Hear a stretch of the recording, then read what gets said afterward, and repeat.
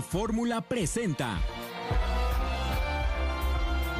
Ciro por la mañana. El programa de noticias con la mayor y mejor audiencia de la radio en el país.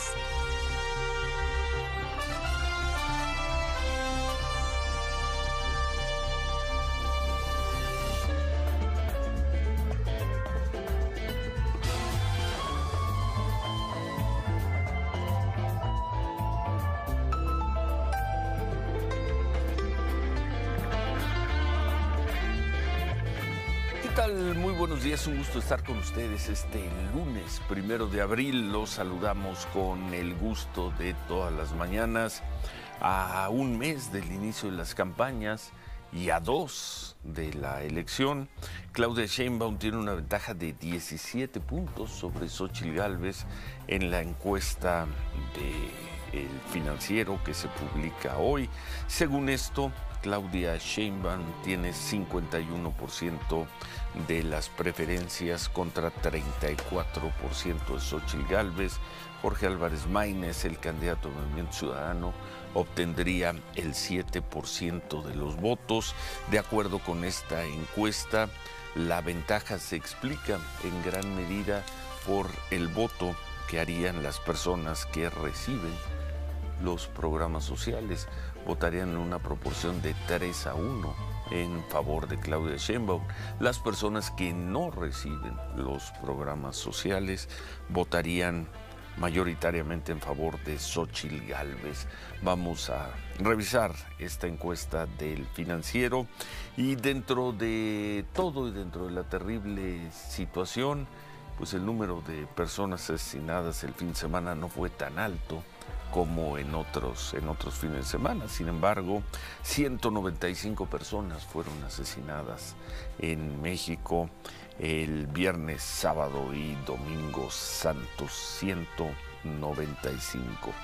Pese a la violencia y a los graves problemas que enfrenta Tasco, Mario Figueroa, el alcalde, sería propuesto por Movimiento Ciudadano para la reelección. ¿Es verdad esto? ¿Qué significa? Vamos a, estar allá, vamos a estar en Tasco, vamos a tener la información. Estaremos también en Campeche, se cumplieron 15 días del paro de policías y bueno, siguen exigiendo la destitución de la secretaria de Seguridad Pública Marcela Muñoz, de la gobernadora Laida Sansores. Pues pasan los días, pero bien a bien no cambian las cosas allá en Campeche. Vamos a hablar con la embajadora de Israel en México, con Einat Kranz Niger, para preguntarle cuál es la situación jurídica de Andrés Ruemer, del mexicano Andrés Ruemer, luego de que el Tribunal Regional de Jerusalén lo declaró extraditable, dijo que sí puede ser extraditado de Israel a México. Ruemer tendría 30 días para apelar la, la decisión, pero ¿qué significa? ¿Qué es lo que significa esta decisión de la justicia israelí? El segundo trimestre del año comienza con el peso pues más fuerte que nunca en estos momentos el dólar se está cotizando, el dólar para operaciones internacionales, el interbancario, el que le aplican a usted si es que está fuera de, México en alguna operación, está en 16,54. Y nada más para el registro también, el euro cayó por debajo de los 18 pesos, se vende en este momento en 17 con 83. Parte de lo que tendremos hoy, más las entrevistas con los personajes esenciales, más todo lo que se vaya acumulando en las próximas tres horas. Quédese con nosotros, estamos por la mañana, hacemos una pausa y al regresar con todo esto, comenzamos. En Nuevo Paraíso, el municipio de La Concordia. La candidata de Morena al gobierno de la Ciudad de México, Clara Brugada, presentó a los candidatos alcaldes y diputados locales de su movimiento y recalcó que tienen el deber histórico de movilizar a la ciudad para continuar con el segundo piso de la cuarta transformación. La Secretaría de Relaciones Exteriores informó del regreso a nuestro país de 34 mexicanos que se encontraban en Haití en medio de la crisis política y social que vive ese país. La canciller Alicia Bárcena calificó de exitosa la operación de dicho traslado. Post Antonio Valerio. Más información en radioformula.mx. Fórmula Noticias, cada hora.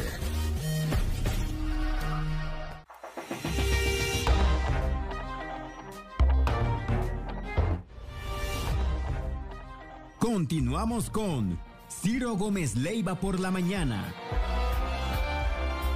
7 con 8. Manuel, buenos días. Ciro por la mañana, buenos días, buenos a todos en Grupo Fórmula.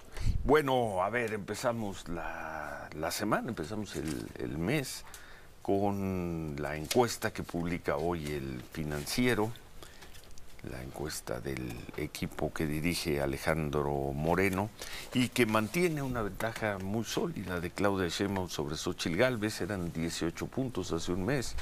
Claudia Sheinbaum perdió un punto en esta encuesta en un mes. Pues bueno, se puede seguir perdiendo un mes en abril y uno en mayo No y nada. mantendría una ventaja muy amplia sobre Xochitl Galvez.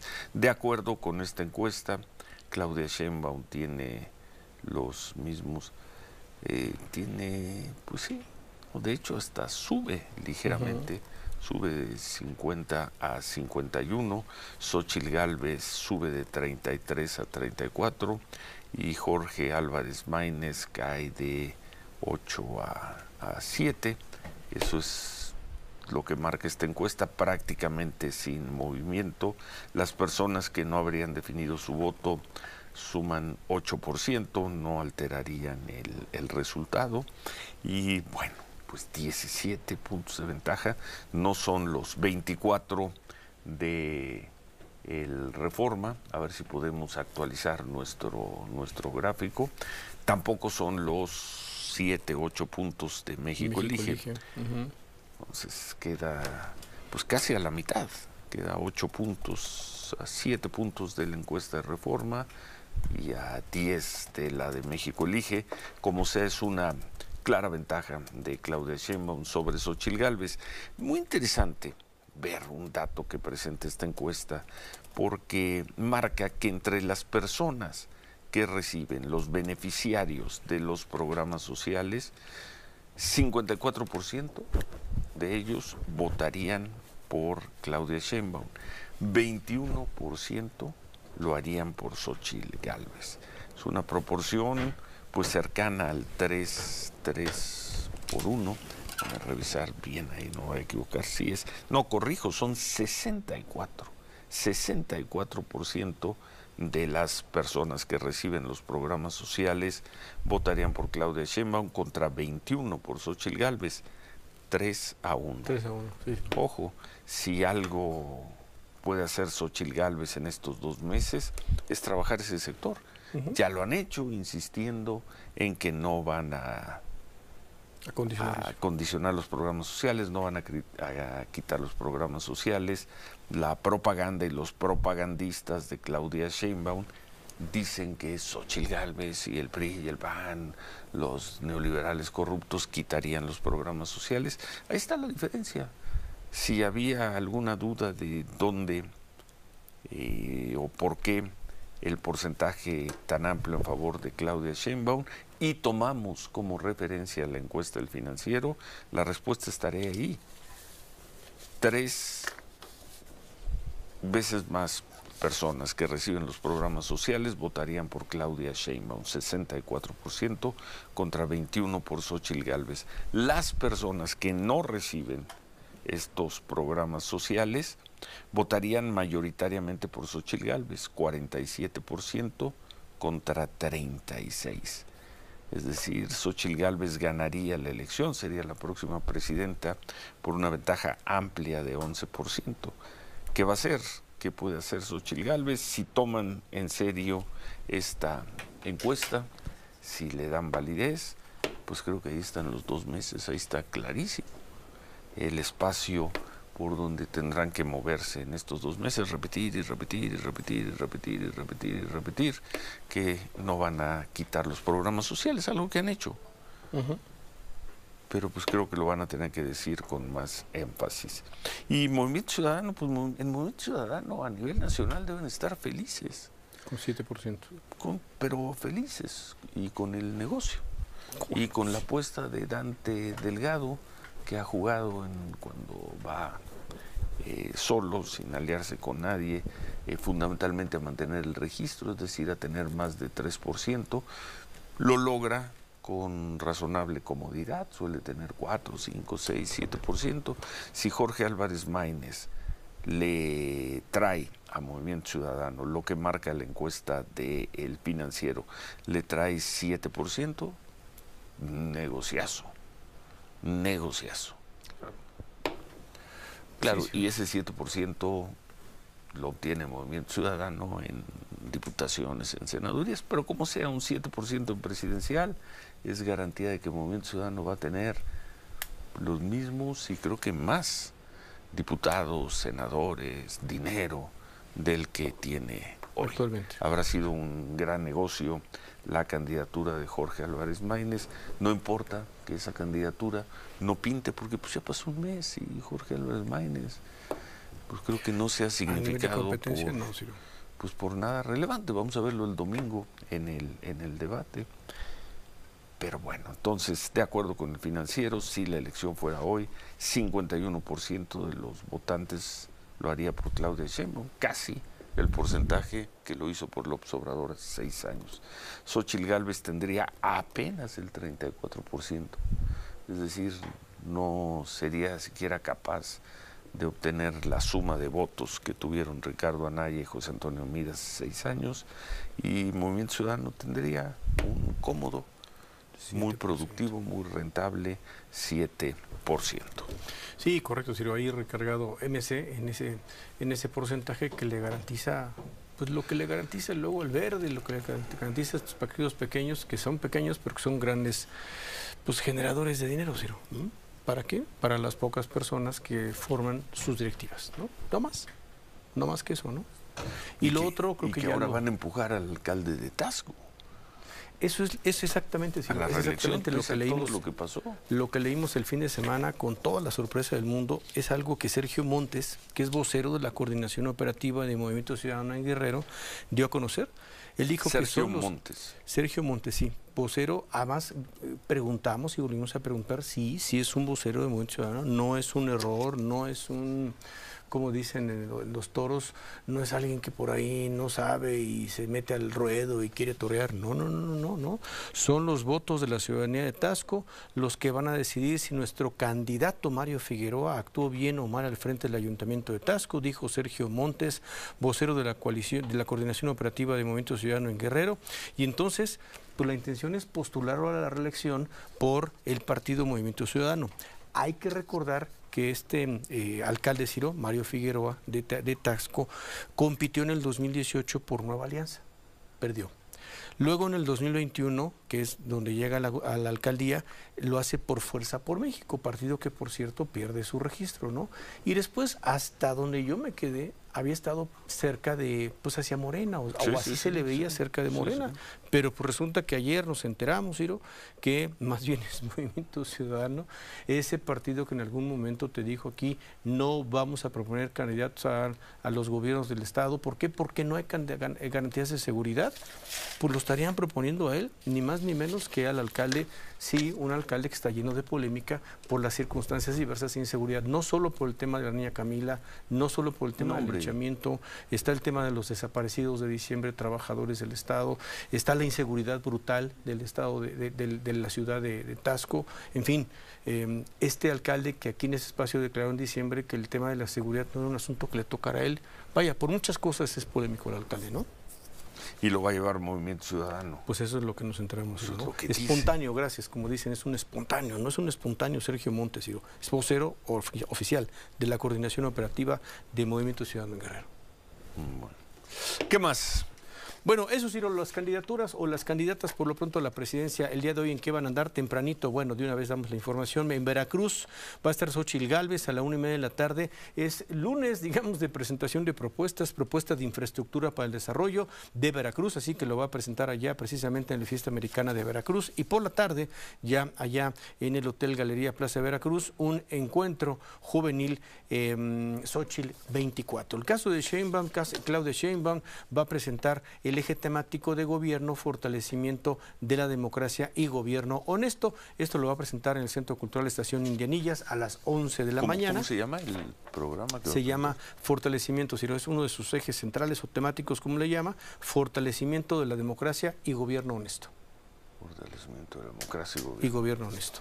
Y el caso de eh, Jorge Álvarez Maínez, al mediodía va a presentar el documental Movimiento Escucha, esto en un auditorio ahí en el World Trade Center, aquí en la Ciudad de México, y a las 5, a las 5 de la tarde, entonces ahora él va a estar, ayer estuvo en Nuevo León, él decidió estar en los arranques de las, de las plazas en Nuevo León o de las candidaturas en Nuevo León, y hoy va a estar en Puebla, en San Martín Texmelucan, en Puebla, ahí en la carretera México-Puebla número 6, pues va a estar en el Salón Social Club de Leones, arrancando precisamente precisamente las candidaturas, em, pues como lo hizo ayer Xochitl Galvez, como lo hizo ayer Claudio Sheinbaum, apoyando pues un bastión que es importante, que nada más por el número de votos, Puebla, ¿no? Junto con Veracruz entre otros estados, que, que concitan una buena cantidad de personas a las que hay que ir a ganar, ¿no? Hay que ir a ganar, me refiero a la votación. donde abucharon a Rocío Nale. Sí, ayer, ayer en la mañana, ¿no? Ayer en la, parroquia del puerto. En la parroquia del puerto, precisamente. Platicaba con Alejandro Aguirre, dice, pues es que no es nuestro compañero eh, periodista en Veracruz, dice, pues está como raro entender por qué en un bastión que no es de Morena, en un lugar que no es de Morena, donde no se presentan los morenistas y se refiere específicamente al lugar, la parroquia, dice, decide ir Rocío No sé si efectivamente porque buscaba la provocación, porque buscaba llamar atención. Lo que haya buscado, encontró una serie de abucheos permanentes, es decir, porque son abucheos de entrada. Efectivamente, hay otra gente que lo apoya, gente que iba con ella, por supuesto, da su conferencia de prensa, lo que haya querido decir, y tiene que salir con A ver si vamos ¿eh? más adelante a, Veracruz. bueno, por lo pronto son las 7 con 19, casi 7.20. Con Ciro Gómez Leiva por la mañana.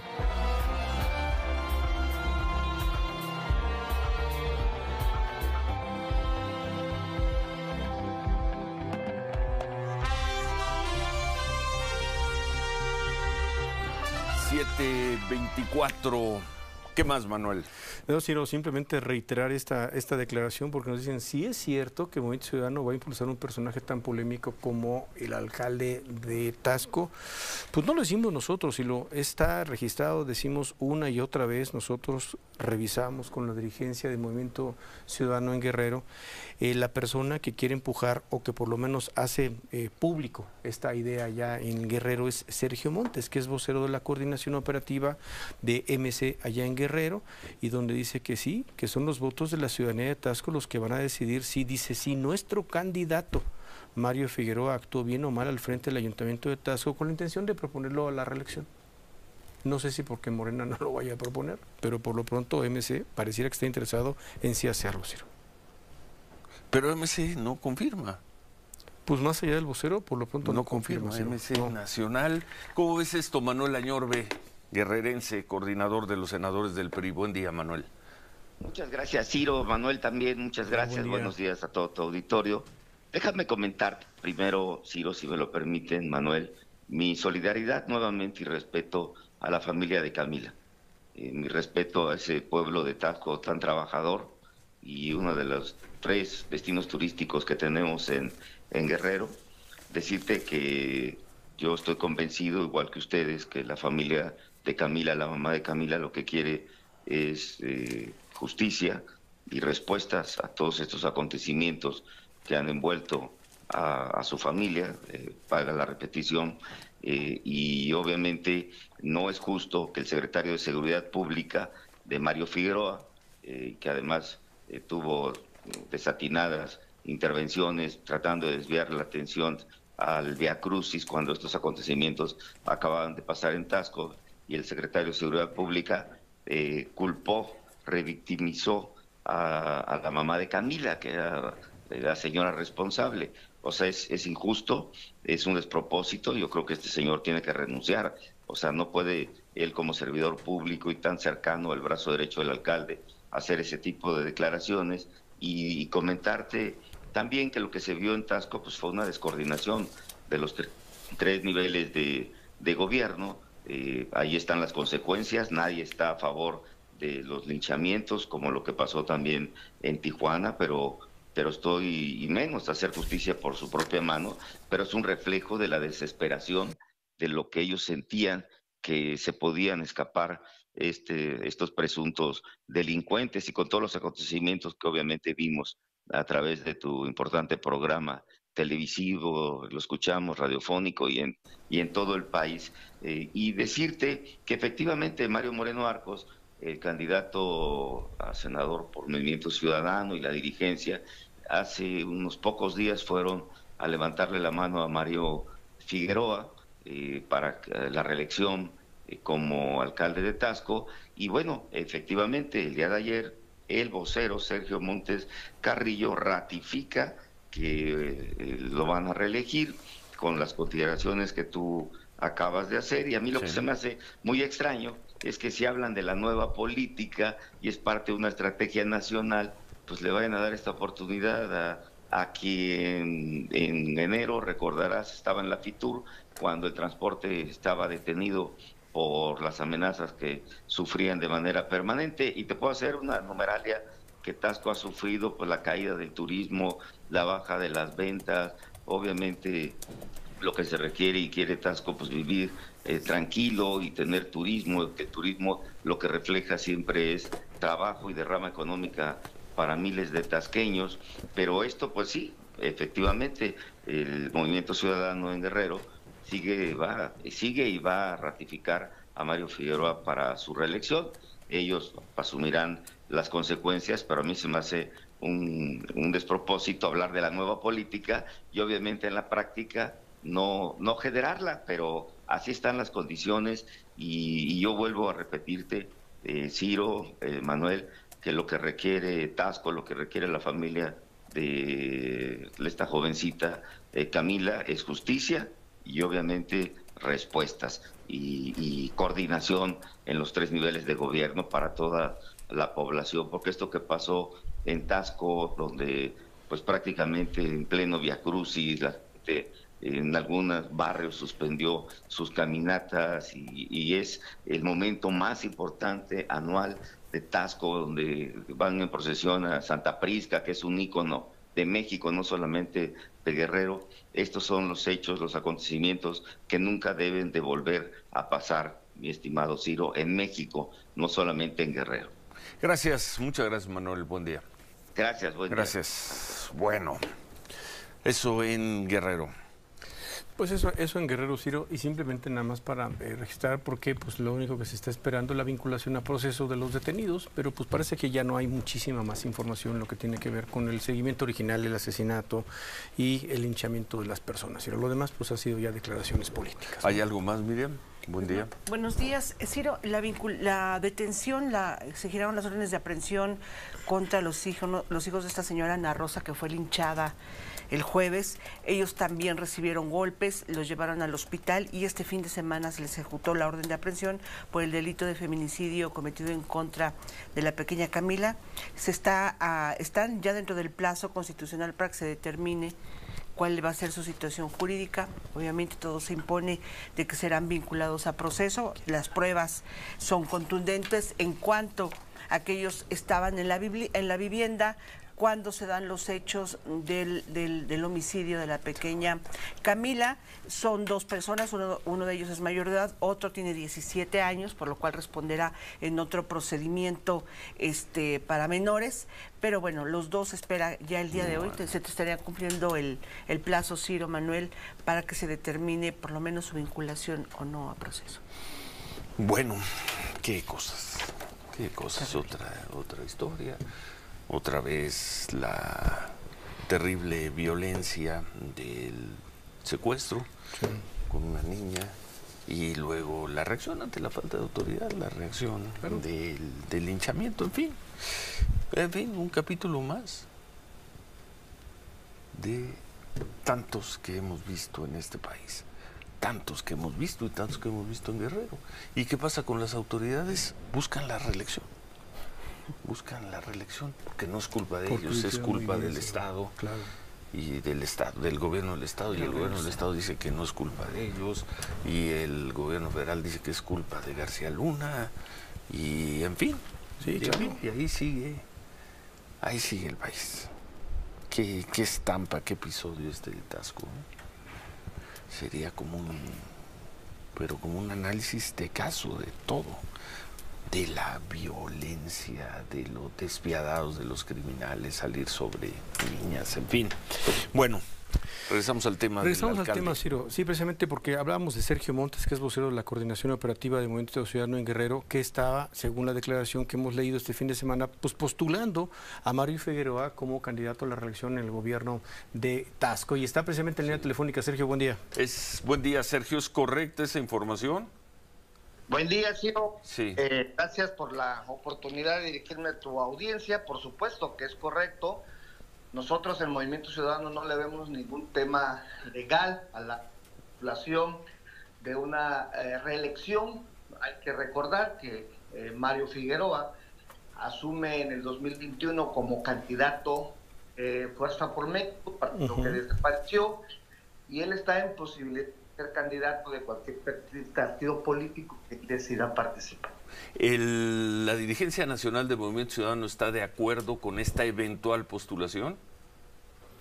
Es una, es una propuesta de por supuesto, él no tiene ninguna este, impedimento legal para hacerlo. Yo creo que la clase política en Guerrero y en muchos Perdón que lo interrumpa, Sergio, le vuelvo a hacer la pregunta. ¿La dirigencia nacional está de acuerdo con que esta persona sea el candidato, el señor Figueroa? La propuesta de Mario Figueroa está en nivel de propuesta de Estado. De Estado. Del Estado de Guerrero. Todavía está por definirse y aceptarse a nivel está por definirse, a nivel nacional. A ver si nos permite, Sergio, porque no lo estamos escuchando, no estamos escuchando bien. Hacemos un corte y volvemos con usted. Claro que sí. Vamos a estabilizar la comunicación, Sergio, por favor. 7.35, a ver, vamos a aprovechar. Aprovechamos, hacemos el corte, estabilizamos la señal y regresamos con esta entrevista. Que por lo pronto dices una propuesta a nivel estatal, sí, vamos a ver qué tal y qué tiempo tiene que correr, pues precisamente, y sobre todo yo quisiera preguntar, ¿qué atributos le ve, no? Después de lo que hemos visto en estos últimos meses al alcalde, ¿qué atributos le puede ver Movimiento Ciudadano a un personaje así para poder postularlo, no? En fin, vamos a pausa. Estamos por la mañana, hacemos un corte y escríbanos en nuestras redes sociales, arroba Ciro Gómez L, Facebook, Instagram y Threads, Ciro Gómez Leiva, por YouTube, Ciro Gómez Leiva Oficial, X y TikTok, arroba Radio eh, Fórmula, Radio Fórmula por Facebook, Instagram, Radio Fórmula MX, nuestro canal de Grupo Fórmula en YouTube, radioformula.com.mx, nuestro sitio para que nos visite, y 55 52 79 22 91 si nos quiere llamar. Pausa, volvemos.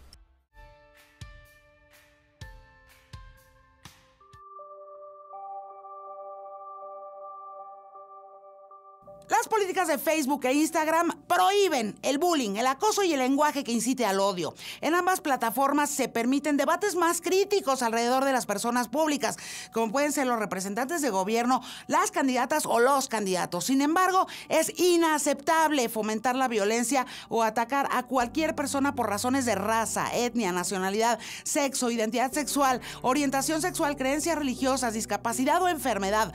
Tampoco se permiten amenazas graves para la seguridad pública o personal. Si ves este tipo de contenidos en Facebook o en Instagram, por favor repórtalo. Para hacerlo, selecciona los tres puntitos que vienen hasta arriba del contenido que deseas denunciar y elige reportar. Después el equipo de revisores de Meta va a analizar el contenido y si infringe las políticas de la plataforma, pues va a eliminarse.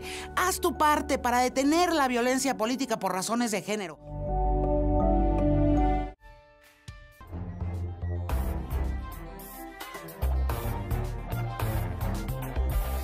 738. Bueno, a ver si lo escuchamos mejor. Sergio Montes, portavoz, vocero del Movimiento Ciudadano en Guerrero.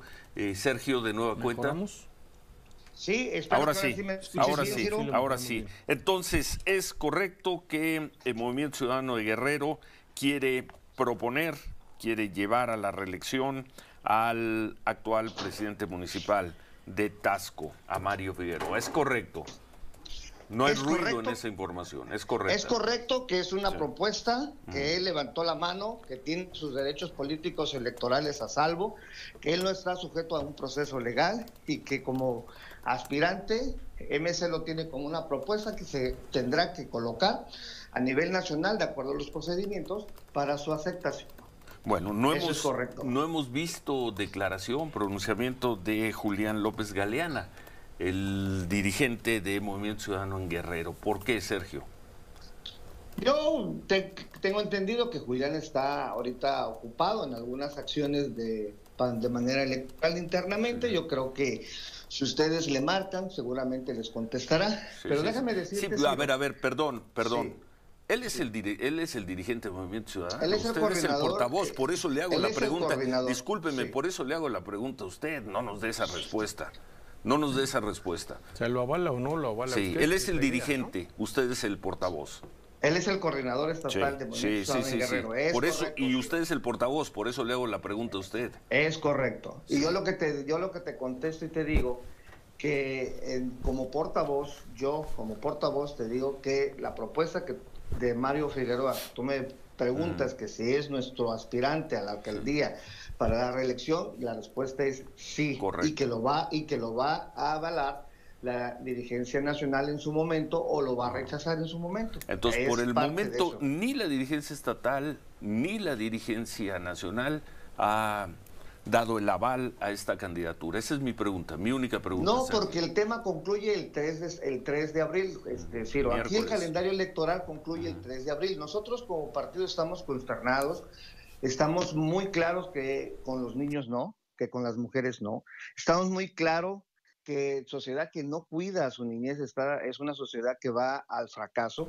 Escuché al, al, senador Añorbe, el cual lo veo muy preocupado porque el Movimiento Ciudadano va avanzando en las preferencias electorales. Esta situación tiene que ver con el tejido social, tiene que ver con la violencia tiene que ver con los temas que en alguna ocasión tú entrevistaste a Julián y te explicaba del 98% de impunidad que hay en, los, en, los, temas eh, de la de las respuestas de las autoridades del Ministerio Público en Guerrero, tiene que ver con este clima de violencia, tiene que ver con estas muertes que ha dado que se han sucedido en el estado de Guerrero, Ciro, tiene que ver con este clima de inseguridad. Nosotros lamentamos el hecho, lamentamos, exigimos justicia y vamos a estar pendientes de que eso suceda. Creo que los tres niveles de gobierno tienen su responsabilidad.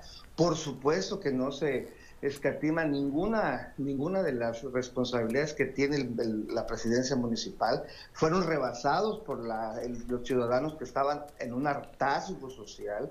Esto es una situación muy complicada, es, un, es una situación que no creo que deba de volver a pasar en todo, no, no creo, no debe de volver a pasar pues en eso, todo eso lo veremos. País. Pero bueno, nos quedamos entonces con esto, vamos a, a ver si confirma primero la dirigencia estatal de Movimiento Ciudadano y si tiene también la confirmación de la dirigencia nacional para que el señor Mario Figueroa participe como candidato del Movimiento Ciudadano a la reelección en Tasco. Le agradecemos mucho. Muchas gracias. Gracias, Sergio. Buen día. Gracias, a ustedes. Gracias, gracias, Sergio.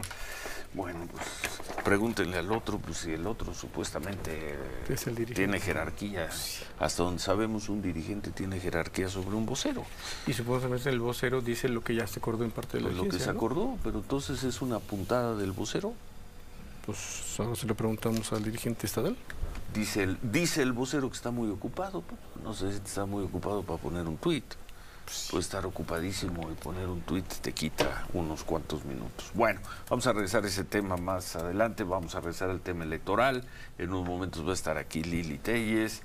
Pero antes, Lourdes, el caso de Andrés Ruemer, Israel. Ciro Manuel, buenos días. Sí, el jueves la Embajada de Israel en México emitió un comunicado sobre este caso donde informó que el Tribunal Regional de Jerusalén aceptó la posición del Departamento Internacional de la Fiscalía del Estado y permitió la extradición a México de Andrés Ruemer solicitada por México. Según la decisión del tribunal, eh, Andrés Ruemer permanecerá detenido bajo vigilancia electrónica hasta su extradición. Ante esta resolución, Ruemer cuenta con un periodo de 30 días para ejercer su derecho de apelar a la Suprema Corte de Israel. Es parte de lo que eh, dio a conocer la Embajada de Israel en México sobre el caso Ciro y es que, bueno, aquí por la mañana habíamos hablado eh, ya sobre, sobre este tema. El año pasado hablamos justo eh, con, con, la embajadora de Israel aquí en México para ver eh, pues cuál era la situación jurídica de Andrés Romer una vez que, lo detuvieron en octubre, en octubre del año y está en la línea de nueva cuenta y lo agradecemos mucho, Einat Kranz-Neger, embajadora de Israel en México. Buenos días, Einat. Hola, buenos días, Ciro. Lourdes. ¿Cómo están? Pues eh, cuéntenos, embajadora, buenos días. Eh, ahora, ¿en qué ha cambiado eh, la, situación del señor Andrés Ruemer una vez que pues lo han declarado como extraditable, acá a México? es un paso más en el, en el proceso, en el procedimiento jurídico. De hecho, la Corte de Jerusalén lo declaró extraditable, se podría extraditar a, a a México. Eh, y ahora, eh, como, como acaban de decir, eh, tiene 30 días su derecho de apelar. Sigue en las mismas condiciones por ahora. por favor, es que no nos cuesta entender cómo es extraditable alguien que está en un país que no tiene un tratado de extradición con, con México. No, no hay un tratado general de extradición pero sí, hay, sí se firmó eh, un acuerdo eh, em, em, específico eh, para poder tratar este caso. Y de hecho en el derecho internacional no es necesario tener un tratado de extradición para poder extraditar. Hay precedentes en el pasado en los cuales México extraditó a Israel, Israel extraditó a otros países en el pasado eh, y se puede hacer eh, sin que haya un tratado general de extradición. Es un acuerdo por este caso, por el caso Andrés Ruemer. En este caso, sí. Nos dice embajadora que él va a seguir en las mismas condiciones, es decir, está en su casa, lleva el proceso eh, en libertad y él nos habían contado su hijo también que tenía oportunidad o la posibilidad de salir algunas veces de su casa. ¿Esto seguirá así? según la información que yo tengo, va a seguir con las mismas condiciones que, tuvo hasta ahora de vigilancia eh, electrónica, que es igual como una detención, pero en unas condiciones eh, eh, específicas que se determinan de acuerdo al caso. según lo que yo sepa, no hay ningún cambio por ahora. Entonces, tiene 30 días para preparar su defensa Andrés Ruemer, ¿es correcto? Es, tiene 30 días en, los cuales tiene derecho de apelar a la Suprema Corte eh, de Israel. Bien, 30, 30 días. Si la Suprema Corte de Israel determina que procede este acuerdo, Andrés Ruemer vendría a México. Así tengo entendido que así sería, sí. Bueno, es tan sencillo como eso, embajador. Mire, no, no sé exactamente cómo es el, el procedimiento de la extradición, cómo se hace de manera técnica, pero en principio sí. Si eh, la apelación en la Suprema Corte eh, es rechazada, eh, Andrés Romer va a ser extraditado a México. En, el comunicado, embajadora, que publicaron el jueves, dice Israel y México son aliados, comparten valores comunes y mantienen buenas relaciones y Israel concede la máxima importancia en llevar criminales a la justicia y promueve la cooperación internacional. Para Israel, Andrés Roemer es un criminal. Mire, en principio lo importante es eh, destacar que entre México e Israel hay muy buena cooperación. Eh, son los dos estados quieren cooperar en el tema de eh, llevar a la justicia a quienes hayan cometido crímenes. Y, en el caso de que la Corte decide que hay suficientes evidencias y que los casos presentados justifican la extradición, la persona va a ser extraditada. Eh, en este caso eh, es, una, es una declaración general hablando de que los dos, México e Israel, comparten el deseo de luchar en contra eh, del delito de la, y de los crímenes y de, la manera es que diferentes estados cooperan entre ellos para que criminales, gente que se, delincuentes no puedan escaparse de un país al otro y, no eh, encontrarse eh, bajo pues, las, las, condiciones de justicia que tendrían que, estar. Ese es el caso de Andrés Ruemer. ¿No aplicaría o podría aplicar un equivalente en el caso de Tomás Cerón, el ex titular de la Agencia de Investigación Criminal? El caso de Tomás Cerón todavía está en procedimiento, todavía no hay una resolución las, eh, los equipos jurídicos de los dos países, de México y de Israel, están operando, están trabajando juntos sobre el tema, pero todavía no hay una resolución. Esto es Andrés Ruemer nada más, no es extendible a Tomás Herón. estamos hablando ahora del caso de Andrés Ruemer, sí, exactamente. Pero como, como lo dice embajadora, buen día, le saluda Manuel Feregrino. En el caso del señor Cerón, pues también puede ser susceptible de una extradición si eh, lo acuerdan las autoridades israelíes. O sea, no es imposible ese acuerdo de extradición o esa extradición eventual.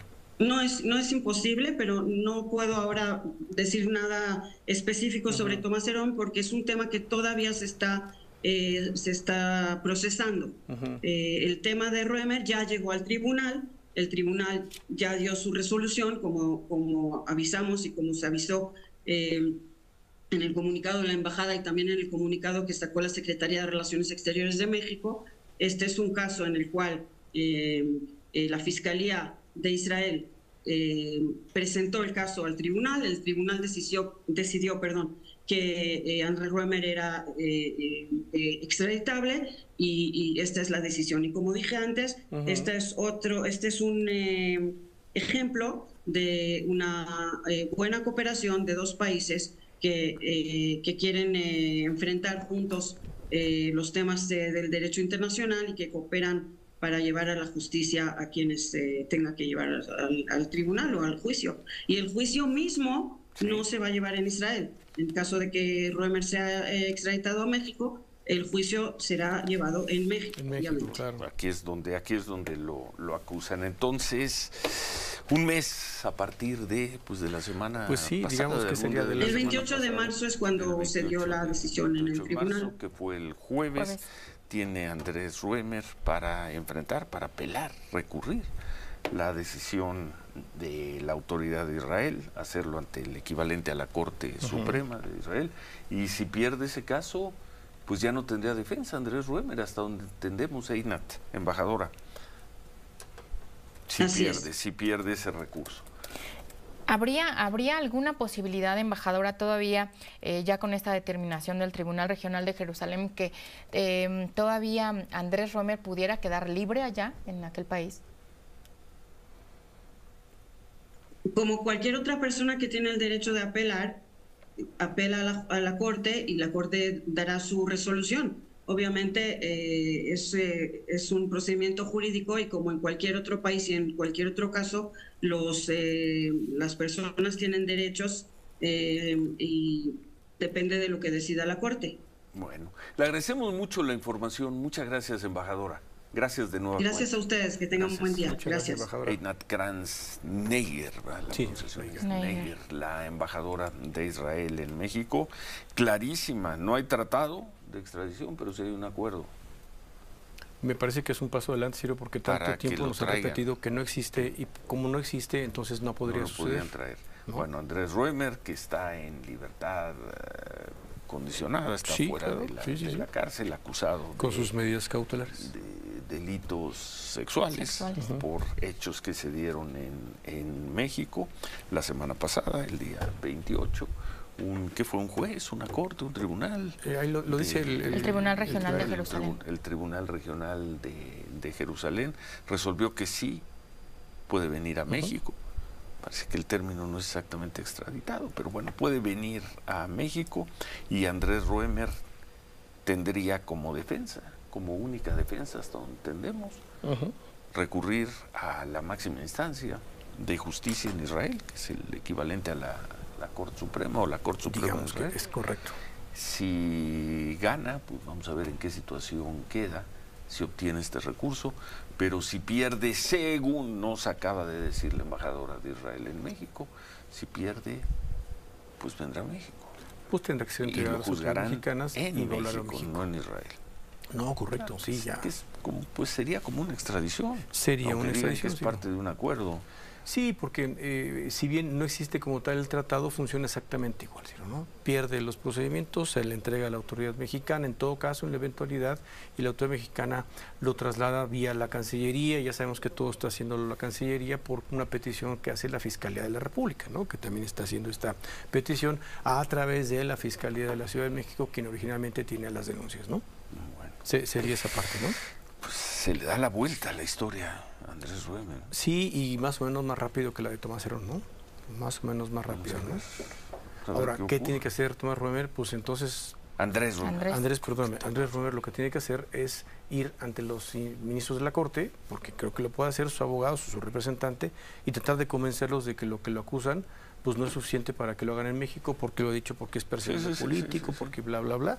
Si eso no logra, Ciro, no sé si son días naturales o son días, lo que tú quieras, en cosa de menos de mes y medio, quizá dos meses, podría estar aquí de regreso. Es Andrés Ruemer, esto no necesariamente, no automáticamente se hace, se extiende a Tomás Herón. No, señor.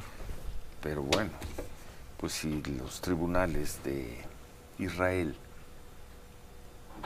determinan que no tienen por qué estar protegiendo a una persona acusada de violencia sexual, si existe un paralelismo, una lógica, tendrían que decir posibilidad, sí. pues tampoco tendrían por qué estar protegiendo a alguien que está acusado de tortura. tortura. Ah, bueno, 7.56, hacemos pausa, volvemos. Continuamos con Ciro Gómez Leiva por la mañana.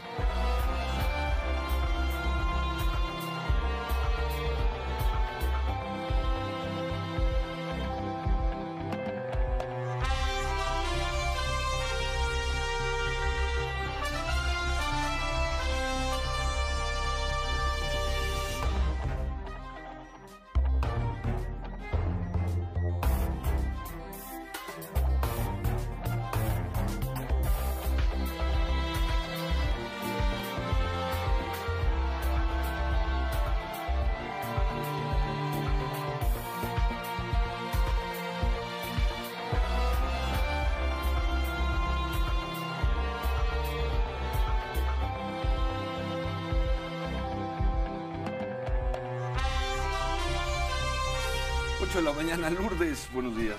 No, ya nos, ya nos acabamos de saludar, Ciro, pero nos volvemos a saludar y ahora, ahora nos vamos con la, información. De... estar saludando todo el tiempo, pero bueno, ahora nos vamos con la información. Bueno, ¿cómo estás? Buen día. Bien, buenos días, Ciro. Vamos con la información. A un mes del inicio de las campañas y a dos de las elecciones, Claudia Sheinbaum tiene una ventaja de 17 puntos sobre Xochitl Gálvez en la carrera presidencial, de acuerdo con la encuesta que presenta esta mañana el periódico El Financiero. Claudia Sheinbaum cuenta con el 51% de las preferencias contra 34 de Xochil Gálvez y un lejano 7% para el candidato de Movimiento Ciudadano Jorge Álvarez Maínez. Si la Suprema Corte de Israel rechaza su apelación, Andrés Roemer será extraditado a México, aseguró por la mañana la embajadora de Israel en México, Einat Kranzneiger.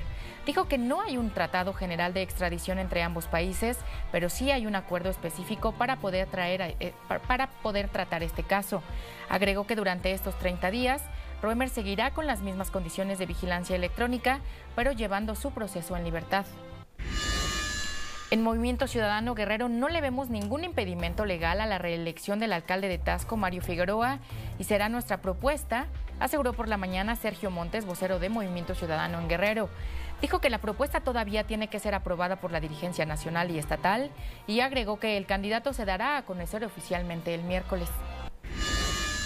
195 personas fueron asesinadas en México durante el fin de semana, de acuerdo con cifras preliminares publicadas esta madrugada por la Secretaría de Seguridad y Protección Ciudadana.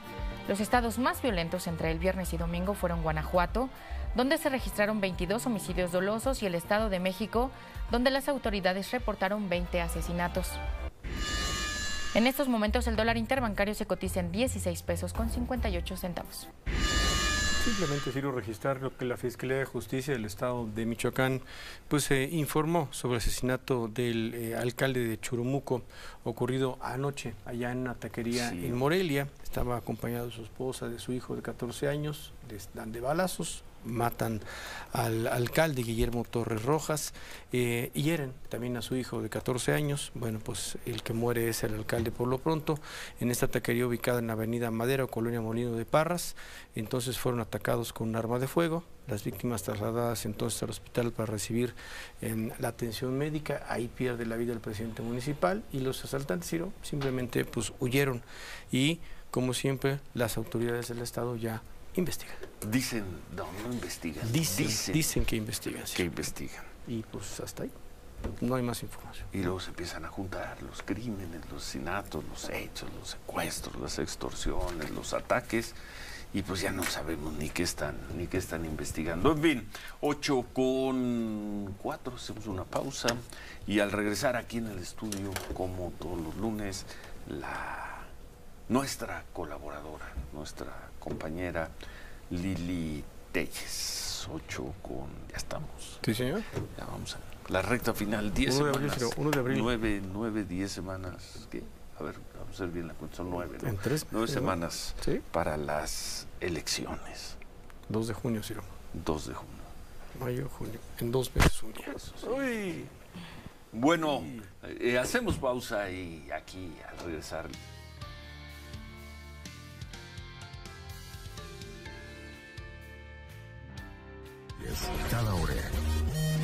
El gobierno de China pidió a las autoridades mexicanas que intensifiquen sus esfuerzos en la investigación sobre los ocho cuerpos sin vida de migrantes de ese país localizados en las costas mexicanas y cuya embarcación naufragó.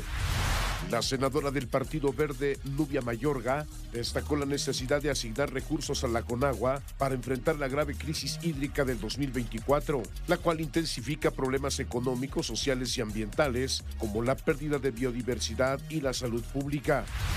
El presidente de Argentina, Javier Milei, dijo que es problema de los mexicanos si eligen a los socialistas. Los comentarios del mandatario ocurren en el contexto de las próximas elecciones presidenciales en México, donde compiten Claudia Sheinbaum, Xochitl Galvez y Jorge Álvarez Maínez. Voz Antonio Valerio. Más información en radioformula.mx. Fórmula Noticias, cada hora.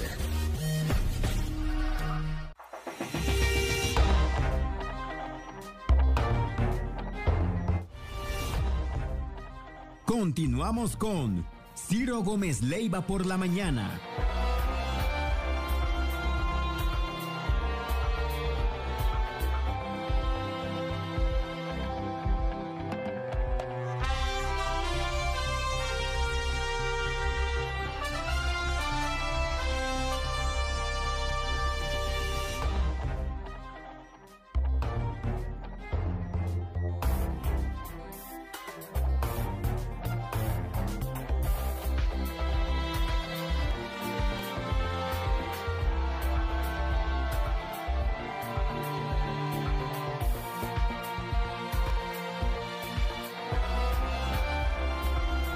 8 con 8, Sofía.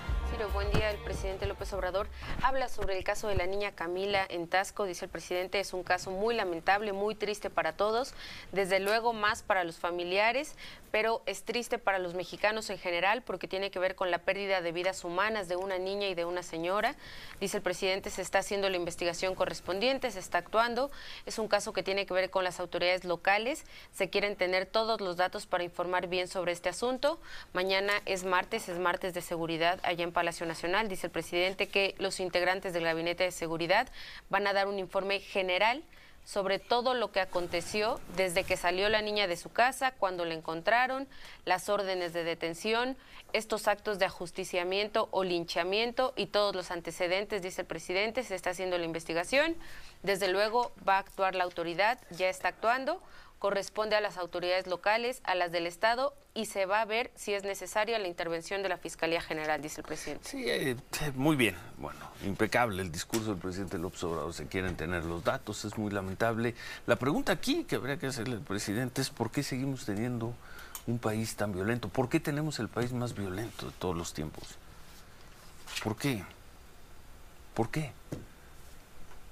Y es la desaparición masiva en Nuevo León, la desaparición masiva de personas en hace, ¿qué fue? Hace ocho días en Sinaloa, pero fue hace ocho o quince días. En, y antes eh, otro caso en otro lugar del país, ahora un linchamiento de por el secuestro de una niña, algo parecido en Tijuana. La pregunta es, ¿por qué llegamos? Ya estamos en abril del 2024, ya estamos en abril.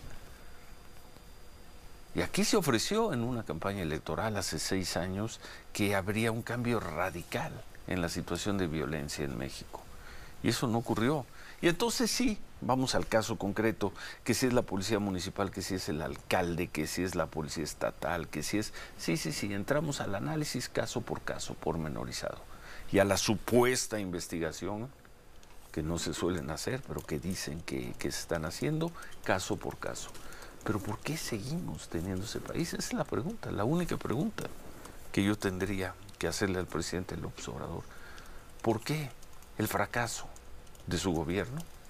Aunque haya mejorado en 5% la percepción de inseguridad, aunque eh, hoy el número de homicidios sea ligeramente menor al que teníamos en el 2018, pero esa no fue la oferta. Esa no fue la oferta.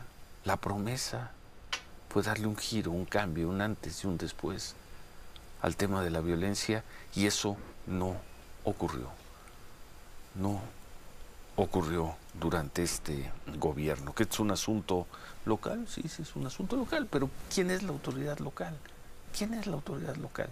La autoridad local es el gobierno del Estado, dicen que no. La autoridad local es el ayuntamiento, ellos dicen que no. Entonces, ¿quién es la autoridad? ¿Quién es la autoridad, Lili? Buen día. Para entrar en materia, Lili Telles. Qué gusto, Lili. Gracias, Ciro. ¿Quién es la autoridad?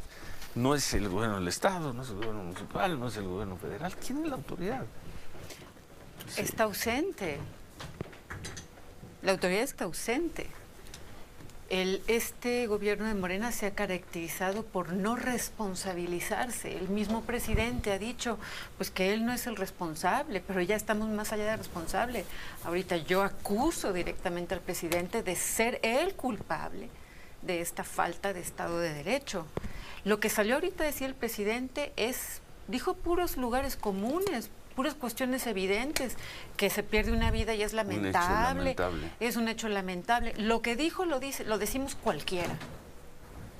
Lo que pasa es que él, el presidente, minimiza lo de la muerte de la niña Camila, minimiza todo lo que pasa en Guerrero porque es el Estado que le entregó a su cuate del alma, bueno, aunque no puedo decir que el presidente tenga alma, ¿verdad? Ante todo lo que hemos visto con la cuestión de seguridad, de inseguridad, como le, entregó el Estado a Félix Salgado Macedonio, entonces ahí puede pasar las cosas más atroces y el presidente no se responsabiliza de nada, como de ninguna parte. Entonces, ¿quién es el responsable? Pues ya pasamos de responsable. Ahora, él es el culpable. En el caso de Guerrero, Manuel, nadie. Pues no es el gobierno federal, no es el gobierno estatal. Y tampoco es el gobierno municipal. Entonces, ¿quién Pues no, porque más una de las preguntas responsables está muerta. ¿No? ¿Qué es la señora? ¿La señora linchada? Pero el fondo es la impunidad. No, no, me refiero a las autoridades. ¿Quién es la autoridad? ¿Quién es la autoridad? La federación no lo es. Y quizá no tendría que ser. No, la federación si tuviéramos, Si tuviéramos algo parecido a una organización para enfrentar a la delincuencia. El gobierno del Estado está preocupadísimo para decir que no era asunto de ellos. Esa es su preocupación y el gobierno municipal se quiere reelegir. Sí. El, el, alcalde. A mí me da la inquietud de que mañana lo que vamos a escuchar es una línea de tiempo, Ciro, en la que el gobierno del Estado haya operado perfectamente bien sus procedimientos protocolarios burocráticos. Todo lo demás es un horror, Ciro. Es un eh, horror. Pero esto pasa porque hay impunidad. Sí, claro. Porque en Guerrero saben que pueden, los asesinos, que pueden hacer lo que quieran y no les va a pasar nada. Y quiero que vean a Félix Salgado Macedonio como en el Senado dice que Guerrero es un paraíso. Claro. Y se lavan las manos. Que ustedes no lo conocen, ¿te acuerdas? Pues, todos sabemos lo que está pasando en Guerrero. Es que es que es, es, es una falacia, dice Félix Salgado Macedonio. Vayan a Guerrero. No necesitamos ir a Guerrero para saber lo que está pasando. A cada, a cada rato salen con eso. Es como sabemos lo que está pasando en Ucrania y no tenemos que ir a Ucrania. Nosotros vamos a Guerrero a cada rato y sabemos lo que está pasando. Claro, sí, claro que se y sabe. Y documentamos y documentamos y documentamos y no pasa nada. No pasa nada. En fin, buen día Lili. Buenos días. Antes que nada, senadora, ¿qué, vende? ¿Qué, ¿Qué, pasa? Sí, a ver si pueden abrir la toma. Ahora sí que es más bueno, allá de la sí, semana sí, 26. Bueno, no ya, nos has dicho ya, la buena dijiste, noticia. No Tenemos dicho. una, bueno, primero, saludos a todos Buen día. en México, desde Mérida hasta Ensenada, su servidora Lili Telles, les mando un gran abrazo y les traigo la mejor de las noticias, porque esta ya sí suena muy bonita, ¿eh? ¿Cuántas semanas creen que falta para que acabe el gobierno de López Obrador? Esta ya suena divina. Y traje una cosa muy especial para festejarlo. Solo faltan 26 semanas y yo sé que en este momento a todos los que nos están escuchando se les puso una sonrisa en la boca, bueno, excepto al amargado de, de Pigmenio, pero a todos los demás se les puso una sonrisa en la boca. Solo faltan 26 semanas para que acabe el gobierno de López Obrador. Solo 26, ¿a poco no suena? Medio año. Suena, no. Medio año, 26 por 2. semanas. 52. Suena 26 a semanas, sí. alegría. Ah, 26 semanas. Semanas, 26 semanas para que acabe el gobierno de López Obrador. Pues, sí, es una maravilla.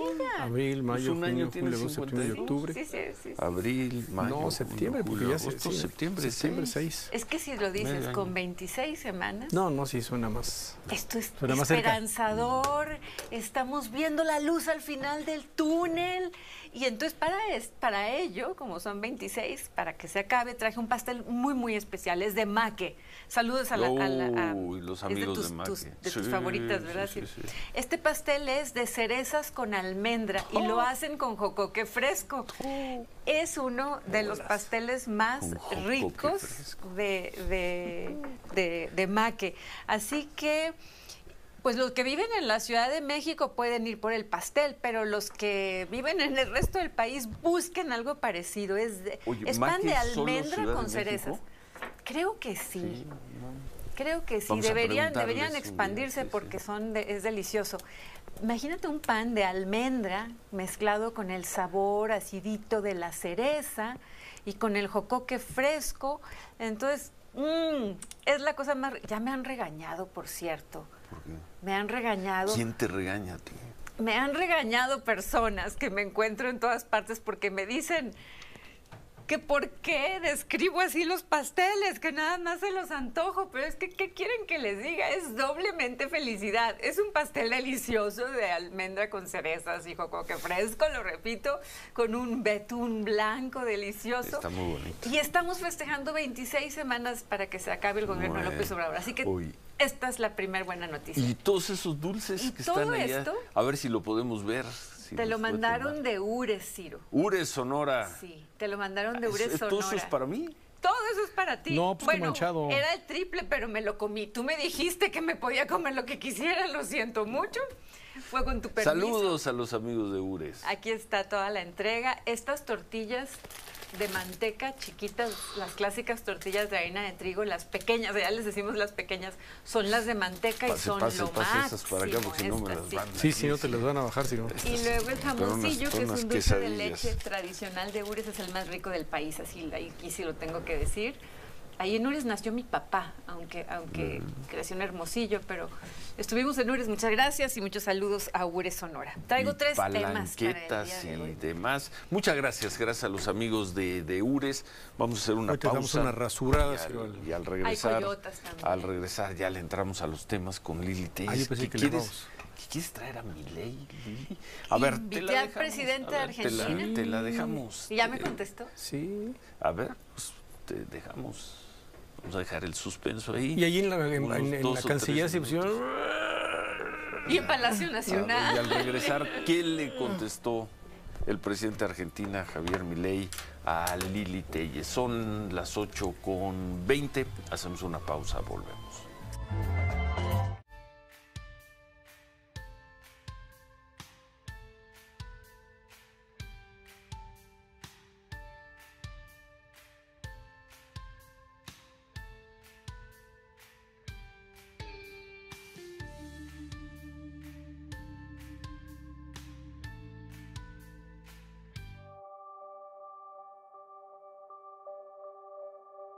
La violencia política en razón de género puede manifestarse de muchas formas en plataformas digitales.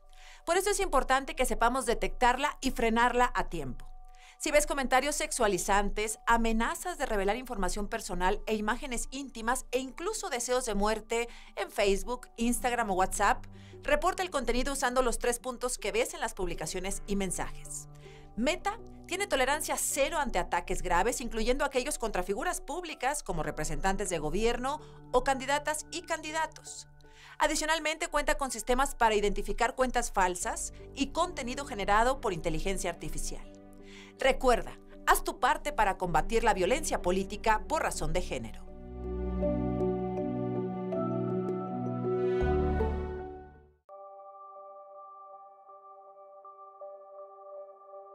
Violencia política en razón de género puede manifestarse de muchas formas en plataformas digitales.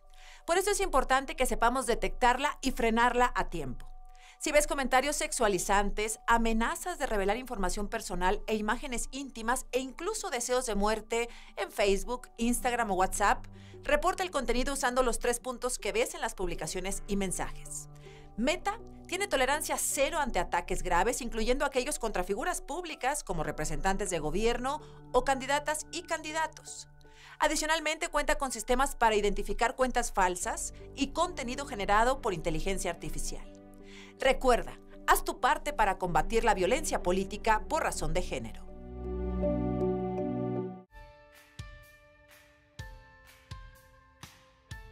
Ley Lili Telles a la invitación que le hiciste para que venga a México. Le hice una invitación desde el 26 de febrero pasado.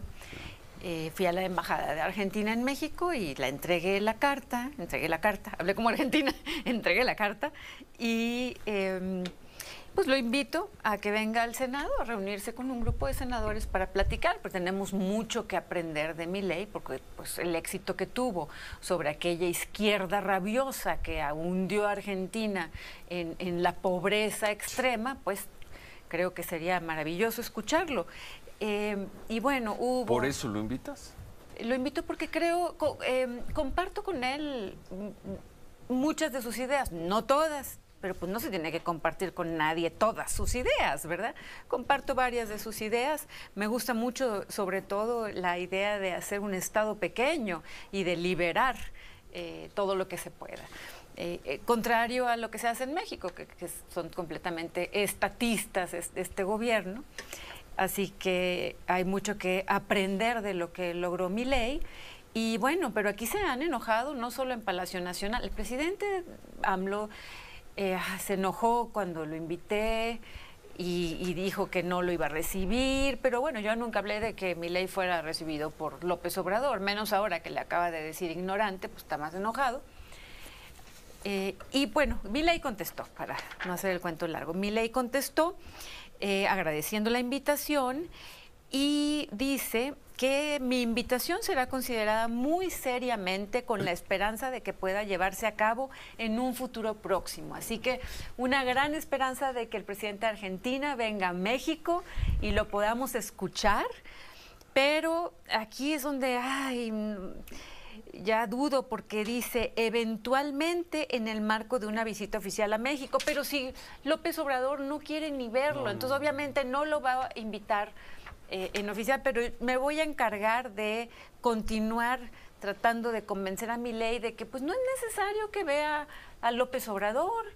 si mi ley ya sabe que el presidente López Obrador es un ignorante, pues acá que venga al Senado y además desde que comuniqué que lo había invitado y que respondió mi ley, pues en muchos estados del país se lo están peleando, lo quieren invitar a diferentes foros eh, de universidades, de grupos de jóvenes, de es presidente de, Argentina, no conferencista. Pero lo quieren escuchar porque es un líder, es, es, un líder, es un presidente de un país muy importante y desde que fue a Davos y dio aquel discurso memorable, pues ha movido, ya ves que fue tendencia mundial. un par de meses. Entonces lo, mm. lo, lo quieren escuchar por sus ideas de libertad. Y bueno, creo que sería el contrapeso perfecto para que venga y le explique al ignorante del presidente López Obrador cómo se debe manejar una economía. Ahorita en el Senado de la República también se les ponen los pelos de punta porque pues son estos de izquierda radical, estatistas, infectados con el comunismo, en fin. Creo que sería maravilloso recibir a mi ley. Y traigo otro par de temas. Bueno, entonces esa es la respuesta de mi ley. Con todo respeto te dice sí, pero no te dice cuándo. y además con una visita oficial de por medio, pues esa visita oficial no, se, va a dar. con el presidente López Obrador. Si gana Claudia Sheinbaum la elección, difícilmente se va a dar. Pues le dejo, yo le voy a dejar muy claro a mi ley que aquí en México es muy bienvenido. Y hubo quienes, eh, y por mucha gente. Sí. Sí, como no, por mucha gente. Ahora, eh, hay, hay personas que se indignaron porque el presidente Milei le dijo ignorante al presidente AMLO, pues se quedó corto. Pero le contestó bien López Obrador, ¿no? ¿Qué le contestó? Le dijo, soy ignorante, pero... Ah. Sí, porque no sé cómo los argentinos pudieron votar por usted. Le contestó muy mal, mm, porque mm, el presidente López Obrador insultó a los argentinos. Sí, claro. Pues Dijo, no sé cómo son tan, cómo se eh, votaron por él. Correcto. Insultó el presidente López Obrador a los argentinos, cuando Milei solo describió a López Obrador. Por supuesto que es ignorante. Para muestra un botón, vean las obras eh, faraónicas de López Obrador, como el AIFA, como el Tren Maya, como la refinería, como Mexicana de Aviación, y, y como lo que está haciendo en Pemex, que son incosteables y están hundiendo a México porque López Obrador propone un Estado gigantesco que se mantiene de nuestros impuestos y que es inviable. Es todo lo contrario de lo que está haciendo mi ley. Así que mucho tenemos que aprender, aprenderle a mi ley. Será muy bienvenido aquí. Bueno, si es que algún día viene mi ley. Vendrá, vendrá. con todo respeto, lo veo poco probable. Pero se hace la lucha. Se hace la lucha. Bueno, traigo otro tema eh, que acaba de suceder la semana antepasada y es sobre un asunto que ocurrió en el Senado de la República. Como hemos visto, eh, López Obrador, Morena, ha golpeado consistentemente a las policías. A los policías municipales les quitó una barbaridad de dinero, a las policías estatales también, y a la Policía Federal pues la desapareció y consistentemente han estado mermando cada vez más a, las policías y ya en el colmo de los colmos, la semana, la semana antepasada, una senadora de Baja California, obviamente de Morena, ¿de quién más?, intentó em, cometer una arbitrariedad contra los policías de México, de todos los municipios y de los estados. Propuso que se les quitara la defensoría jurídica cuando se metan en un problema en el ejercicio de su profesión. Quiero decir que si un policía en medio de un operativo eh, le pasa algo, pasa algo de lo que él no tuvo la culpa, se mete en un problema legal, pero sin quererlo, lo que propone Morena es que ya no se les defienda por parte de pues porque los quieren golpear. ¿Por qué? Porque en el fondo quieren que los policías renuncien a las corporaciones policíacas mm. y que nadie más quiera ser policía en el país. ¿Cuál es la otra razón?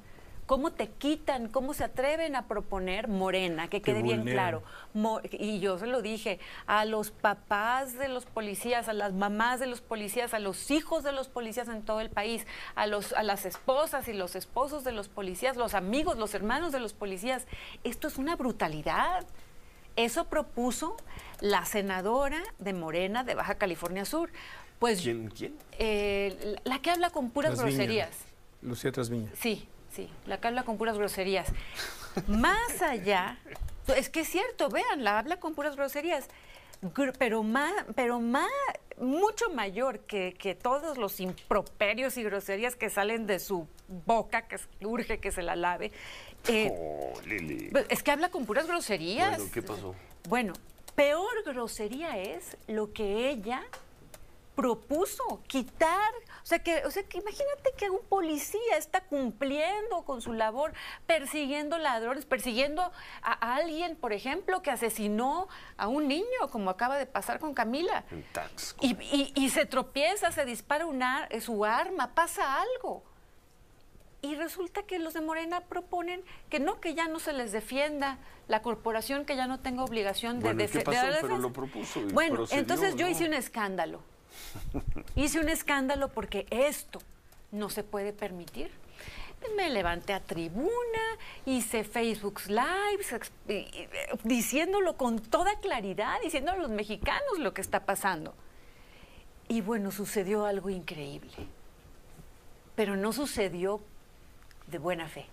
Sucedió, y aquí me da mucho gusto, porque hice tal escándalo, vengo muy contenta esta mañana, que Morena lo retiró.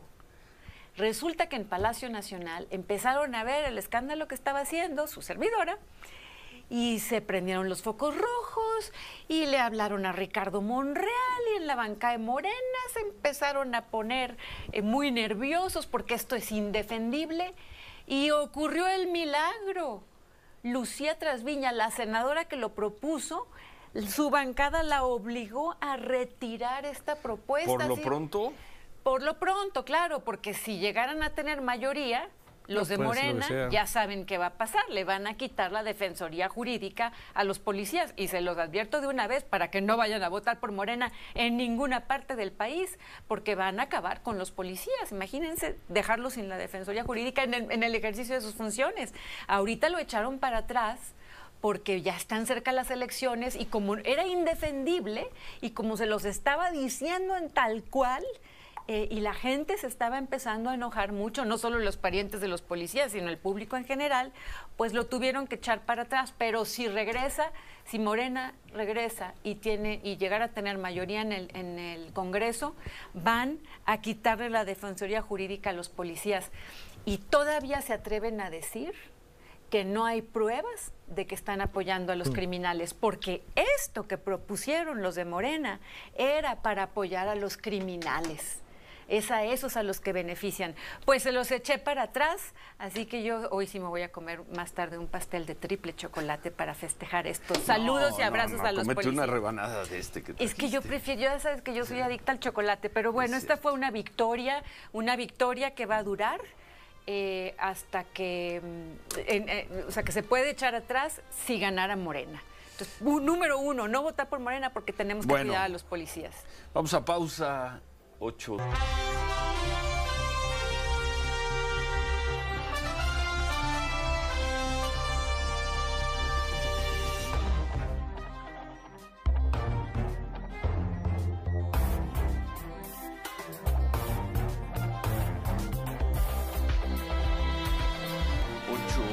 38 de Yanira.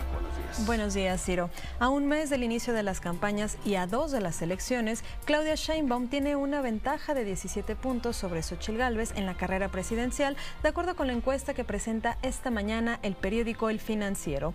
Claudia Sheinbaum cuenta con el 51% de las preferencias contra 34 de Xochitl Gálvez y un lejano 7% para el candidato de Movimiento Ciudadano Jorge Álvarez Maínez.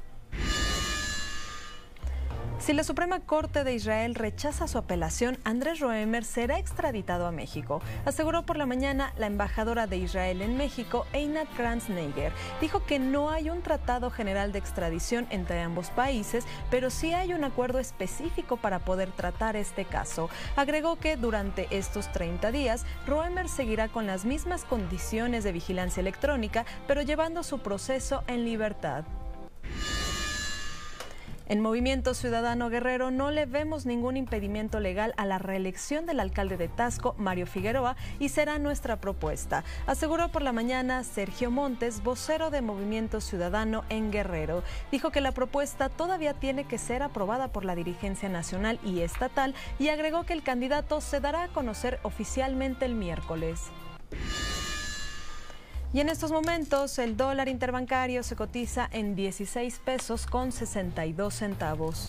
Bueno, dicen que en Palacio Nacional el presidente ya está otra vez con los mismos cuentos, con las mismas mentiras sobre el manejo del tema de la violencia, sacando de contexto lo que uno publica, pero en fin, presidente, pues bueno, bueno, todavía, todavía nos quedan a los dos, seis meses, ¿no? Para seis meses más y luego a ver qué pasa con, la vida.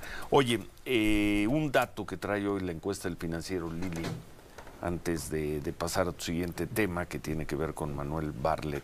Hoy publica una encuesta del financiero, mantiene Claudia Sheinbaum ahí una buena delantera de 17 puntos sobre Xochil Gálvez, pero hay un dato que nos llamó mucho la atención. Entre las personas que reciben los beneficiarios de los programas sociales, 64% votarían por Claudia Sheinbaum, solo 21 por Xochil Gálvez. Ahí la ventaja es de 3 a 1, es de 43 puntos.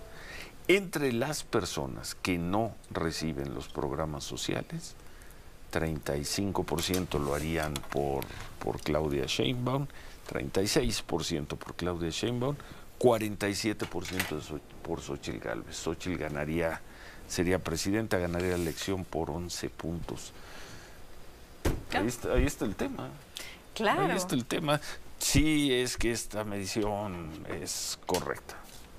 Tres de cada cuatro personas que reciben programas sociales votarían por Claudia Sheinbaum. Es el problema de la mentira es el resultado de la mentira. La mentira a veces se gana y en estos momentos va ganando la mentira. Van los, eh, la gente de Morena, va casa por casa y les dicen, esto pasa en todo el país, y le dicen a la gente que si no votan por Morena van a perder los programas sociales. Su tarjeta, por eso Xochitl Galvez dijo depósito que, cada dos meses. Que van a perder todo. Y es falso de toda falsedad. Por eso Xochitl Gálvez quería que, en el INE se aclarara, pero pues en el INE se pusieron también muy enojados y Claudia Sheinbaum se enojó mucho también, porque pues es, es, su programa ¿Por qué se enojó el INE?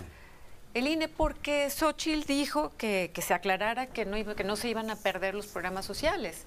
Y como esa es la forma en que están comprando el voto los de Morena, eh, de hecho, em, anoche yo empecé a publicar un spot en radio y televisión allá en Sonora, en donde les digo eh, a las personas, cuando, les, cuando lleguen los de Morena a tocar a sus puertas y en cuanto les digan que si no votan por Morena, les van a quitar los programas sociales, ciérrenles la puerta en la nariz, porque nada más mortifican a los abuelitos, mortifican a los jóvenes, mortifican a toda la familia, angustian a las personas de la tercera edad y no los dejan vivir tranquilos, amenazados. ¿Cómo se atreven a amenazar los de Morena a las familias eh, en el sentido de que si no votan por Morena van a perder eso? Acuérdense. No van a, no van a, nadie va a perder sus programas sociales, no se dejen engañar. Eso es mentira. La mentira es la característica principal de Morena. Pero pues a juzgar si fuera una mentira, a juzgar por la encuesta que publicó hoy el financiero, pues le está funcionando muy bien. Sí, es lo que te digo, ahorita, ahorita esa mentira va ganando, por eso es muy importante que lo digamos en todo el país, pásenlo de boca en boca, no van a perder los programas sociales. Y lo que más a mí me llama mucho la atención, que cómo se atreven los de Morena a mortificar a los viejitos, a los abuelitos. Tienen diabetes, hipertensión, están mal del corazón y cuando les los amenazan y les dicen que pueden perder los programas sociales si no votan por Morena, es, es delicado para la salud de los viejitos. Ya, ya es el colmo que estén eh, abierta y descaradamente los de Morena lucrando en esta compra de voto. Bueno. Bueno, ¿qué querías, decir, ¿qué querías decir de Manuel Bartlett? Pues bueno, nada, nada bueno, ¿verdad? Todo el mundo sabe que de Bartlett no se puede decir nada bueno nunca en la vida. ¿Qué hizo Bartlett? No, pues le hizo una trastada a los sonorenses. ¿Qué le hizo? Otra, otra trastada. Este, muy en el estilo de Manuel Bartlett, de hacer trampa, de mentir. Y también el presidente López Obrador, ¿eh? otra mentira para Sonora. Había dicho López Obrador que iba a dar recursos eh, a través de un decreto para que en Sonora las tarifas de luz bajen y ya queden permanente en, un precio en un precio especial, en una tarifa especial, porque pues, Sonora es el desierto. A ver, que bajen, van a bajar las tarifas y queden una cuota fija. Ajá, y que ya sea permanente para que año con año no esté... Como una renta congelada para que, para que año con año el, el, gobernador en turno no tenga que estarle suplicando al presidente en turno que dé una tarifa especial para el verano. Fíjate que yo hice una iniciativa para que ya haya estas tarifas, eh, que ya queden permanentemente establecidas en la ley y que no suceda eso. La hice hace más de tres años y Morena y no solo para Sonora, sino para todas las ciudades del país que tienen el problema de las altísimas temperaturas. Y resulta que Morena siempre le dijo no y no y no y no y no y no y no y no a mi iniciativa para que esto sucediera. Y ahorita al cuarto para las tres, justo cuando ya se viene la fecha electoral, el presidente sale y dice, sí, sí les voy a dar dinero, sonorenses, para que tengan la, tarifa especial y que ya sea permanente. O sea, apurado solo porque ya van a ser las elecciones. Entonces yo me puse a revisar el convenio y resulta que son mentiras, otra mentira de López Obrador, otra. O sea, ¿Qué le pasa a Manuel Bartlett con los sonorenses? Es una cosa de quererles ver la cara. ¿Pero dónde está la mentira? Resulta que, eh, ah, a través de es que nadie se pone a ver la letra chiquita de los convenios. Yo sí, lo, yo sí me metí a ver el convenio. Resulta que Sonora debe 1.400, eh, perdón, Sonora debe 1.380 millones de pesos a la CFE. ¿Por qué Sonora no pagó este dinero a la CFE? No sé. Pero lo que dijo Bartlett es, te voy a, dar un beneficio, pero págame primero. 1.380 eh, millones de pesos. No te voy a dar más. Pero págame. No te voy a dar, no es cierto que va a haber más recursos para Sonora, es falso, presidente López Obrador, es falso de toda falsedad, es usted un mentiroso. Y Bartlett, pues no me extraña, es mentirosísimo. Y resulta que en el convenio dice que solo se va a aplicar para el verano del 2024. No es cierto, presidente, como usted dijo que iba a ser permanente. No es cierto, Manuel Bartlett, que va a ser permanente. Lo van a hacer ahorita rápido, nada más. Ahorita no va a haber, no va a haber peligro hasta el día de las elecciones. Pero pasando las elecciones, obviamente, pues si no lo hicieron ahorita permanente, menos después. menos después. ¿Y la prueba cuál es? Que yo lo presenté hace años. Morena siempre dijo que no y que no, y que no, fíjense, hace años podíamos los sonorenses tener el beneficio y Morena dijo no. Y ahorita nos dijeron este, que, eh, me da mucho coraje que, que, quieran vernos la cara. Resulta que nada más está para el verano del 2024, así está en el contrato. Es una cuestión electoral y realmente, pues, el presidente López Obrador y Bartlett no le quieren dar un 5 a Sonora. A los tabasqueños sí, allá les, les regalaron los, lo que debían. Entonces, el dinero de los sonorenses salió para ayudar a los tabasqueños a que no paguen la luz. Y los sonorenses, que realmente son los que lo necesitan, pues nada. Pero lo que más enoja es la mentira. La mentira nada más para que la gente vaya a votar por Morena. Y después, pues, va a venir el trancazo como siempre. Y la prueba es que si ellos realmente hubieran querido hacer ayudar a, Sonora, pues hubieran aceptado mi iniciativa desde, desde hace años. Así que no es cierto. Eh, ahí está el, el documento. Quien lo quiera leer, ahí está. Así que Bartlett y López Obrador le deben una explicación a los sonorenses. Ahora, es entendible que López Obrador no le quiera dar dinero a los sonorenses porque no hay tantos votos en Sonora porque en realidad el, dinero que ayudaría a las tarifas de, luz en Sonora, pues prefiere llevárselo a, lugares como Chiapas, como Oaxaca, como Veracruz, que tienen muchos más, más votos. No se vale, no, se vale este gran engaño sobre las tarifas de luz, que nadie se deje engañar, porque tenemos el problema, eh, y esto sucede en todo el país, los candidatos a Morena en todo el país están diciendo una bola de mentiras.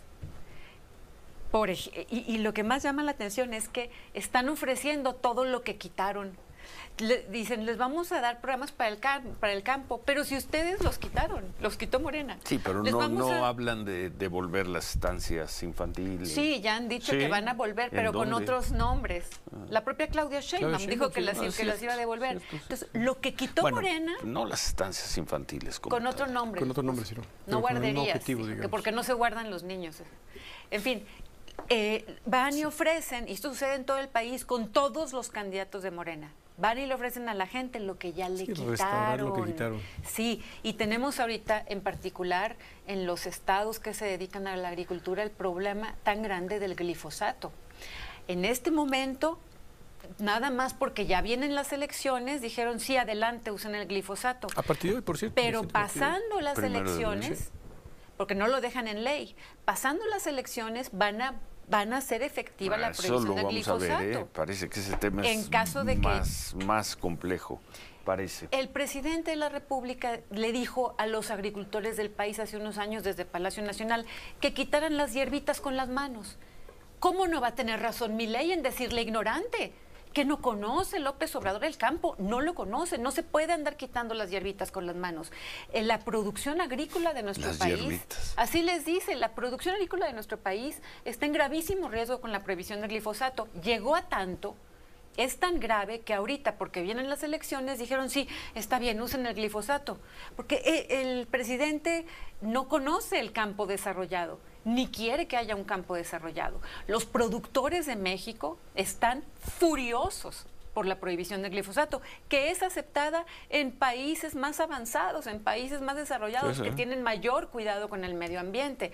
Es una, lo del glifosato es un berrinche de, López Obrador y de aquella senadora. es un berrinche. Es un berrinche. Sí, ¿por qué no es un berrinche?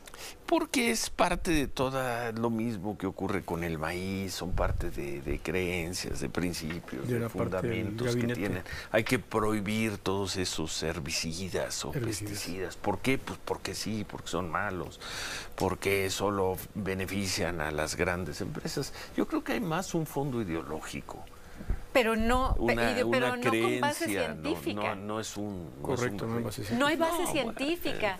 De hecho, Jesús A. Rodríguez, que impulsaba también esto, propuso que todos los mexicanos tengan su milpita y que vivan de ella.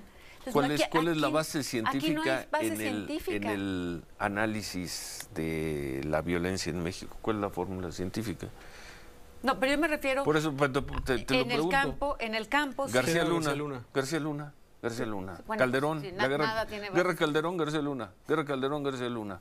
Oiga, el, Guerra Calderón, García Luna. Sí, pues sí. por eso, por eso le digo que es un berrinche. Pues si yo vi cómo lo fueron desarrollando, es un berrinche. yo vi cómo lo fueron desarrollando en el Senado, un simple berrinche con una ignorancia descomunal.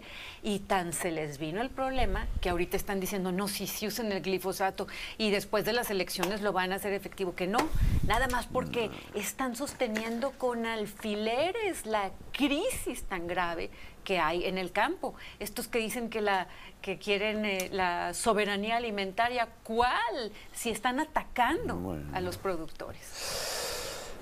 Ya, me deberías invitar todos los días porque son muchos temas. No, sobre todo los miércoles. No, porque, porque mañana tienes que ir al Senado. ¿Mañana hay sesión? Tenemos Mañana tienes que ir al Senado. Martes, y no, te, no te queremos distraer. No, no, no, voy a dar la batalla van a trabajar muchísimo, Senado. Tres días, ¿qué van a hacer tantos senadores que luego están en campaña? Martes, miércoles, jueves. No me refiero a ti, sino los que no van. Pues si tal y no va. Citlali tiene mucho que no va al Senado y, e, ella está de tiempo completo en, cuestiones partidistas, pero cobra su tiempo, su, salario completo en el Senado y no va. Y lo sé porque yo sí estoy en el Senado, yo sí estoy trabajando y su asiento siempre está solo. Y, es más, lo justifica. Qué corrupción de Citlali Hernández de cobrar un sueldo en el Senado si no trabaja.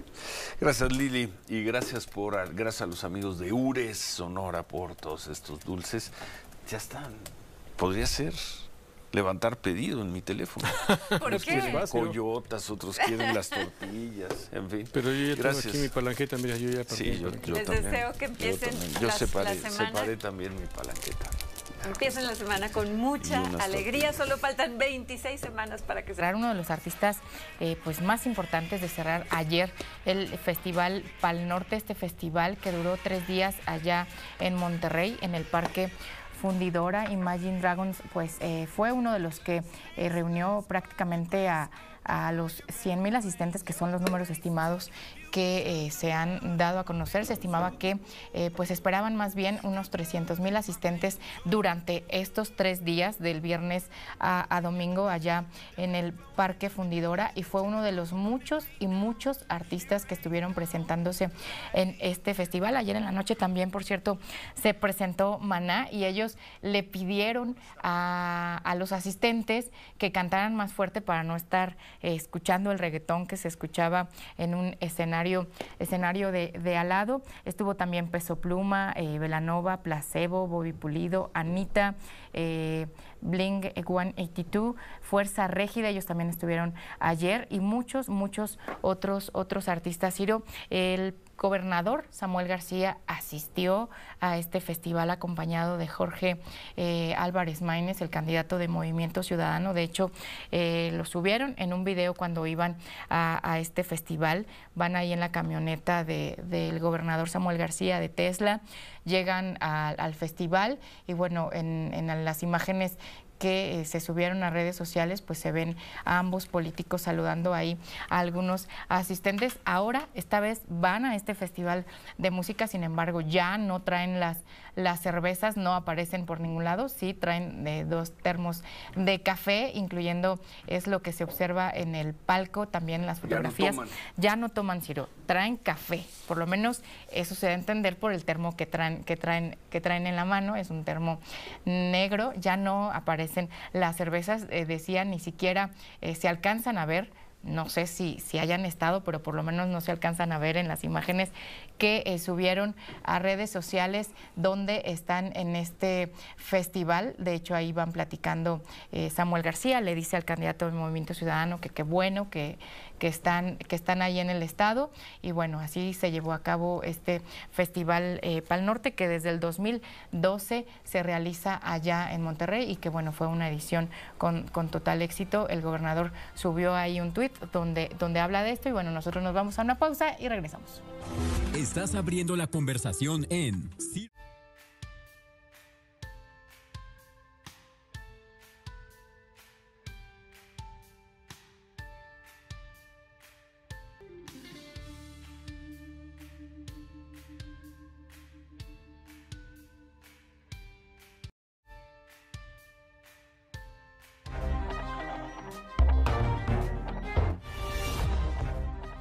Continuamos con Ciro Gómez Leiva por la mañana.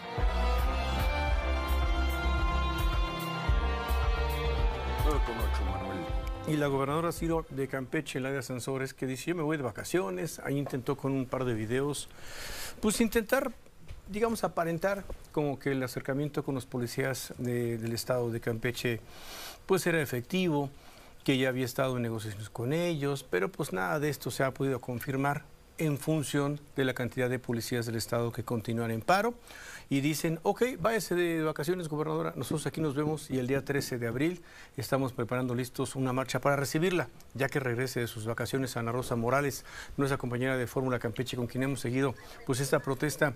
Estamos contigo de vuelta en esta mañana de lunes, te escuchamos, te vemos. ¿Y con quién estás hoy, Ana? Buen día, Ana Rosa.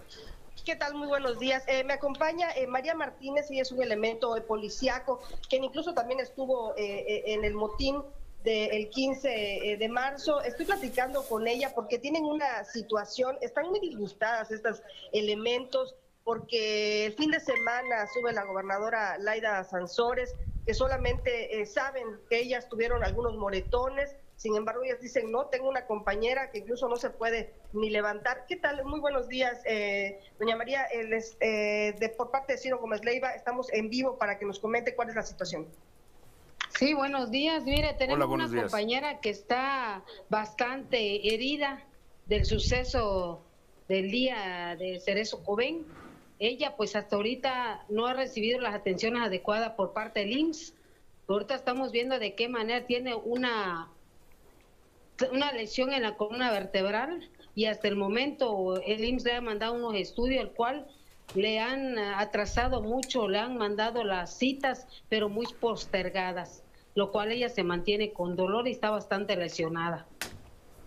Entonces continúan evidentemente las, las protestas, las incongruencias, los pendientes eh, médicos para todos Así es, estamos en la seguimos en la manifestación pacífica hasta el momento. Este, pues estamos trabajando, estamos trabajando, seguimos trabajando y seguimos de frente. No tenemos nada que esconder y pues hasta ahorita, hasta el momento, las, eh, contamos con el apoyo de la ciudadanía y le agradecemos todo su apoyo. Bueno. Y seguimos en la, eh, firmes en la institución de la licenciada Marcela Muñoz Martínez y su gabinete. Bueno. Ahí sí no, no vamos a doblegarnos ante nada. Muchas gracias. Gracias, María. Ana Rosa.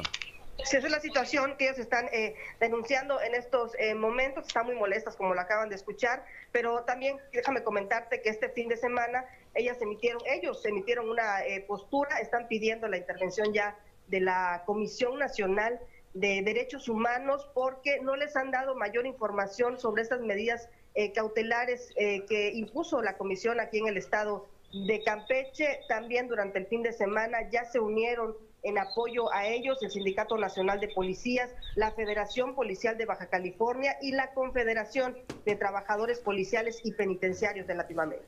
Muchas gracias, gracias Ana Rosa. Buenos días. Gracias. Campeche. Campeche ha sido establecido ese paro, no, no así que no tienen ninguna intención de, de moverse. La el reclamo número uno, Marcela Muñoz, la secretaria de Seguridad, deje ese cargo. La respuesta número uno que da la gobernadora es, no solo me estoy arreglando con ustedes, sino además ella no se va a ir y además apláudanme, apláudanme esos videos que pues simulan acercamiento con la policía. Mari Carmen Cortés nos escribe, dice, por cierto, en el panel de lo que había estado hablando del, del eh, glisofato, eh, Lili Telles. Lili Telles dice, hay un panel arbitral en Tratado de Libre Comercio porque me, contra México porque no puede México demostrar base científica precisamente por su política agropecuaria, por ya por todo lo que tú decías. Una cosa es la pues, creencia y otra cosa es la realidad, ¿no? El dogma. El glifosato. Es el dogma. Sí, concretamente. Todo eso es malo, todo eso viene del imperio, y todo eso daña la salud a los campesinos. Es salud que luego no les importa. en otros en otros casos. Pero bueno. 120, creo que son 120 países, me puedo 120 países lo que utilizan el glifosato y evidentemente lo utilizan porque no hay otra cosa. Pero pues nosotros no.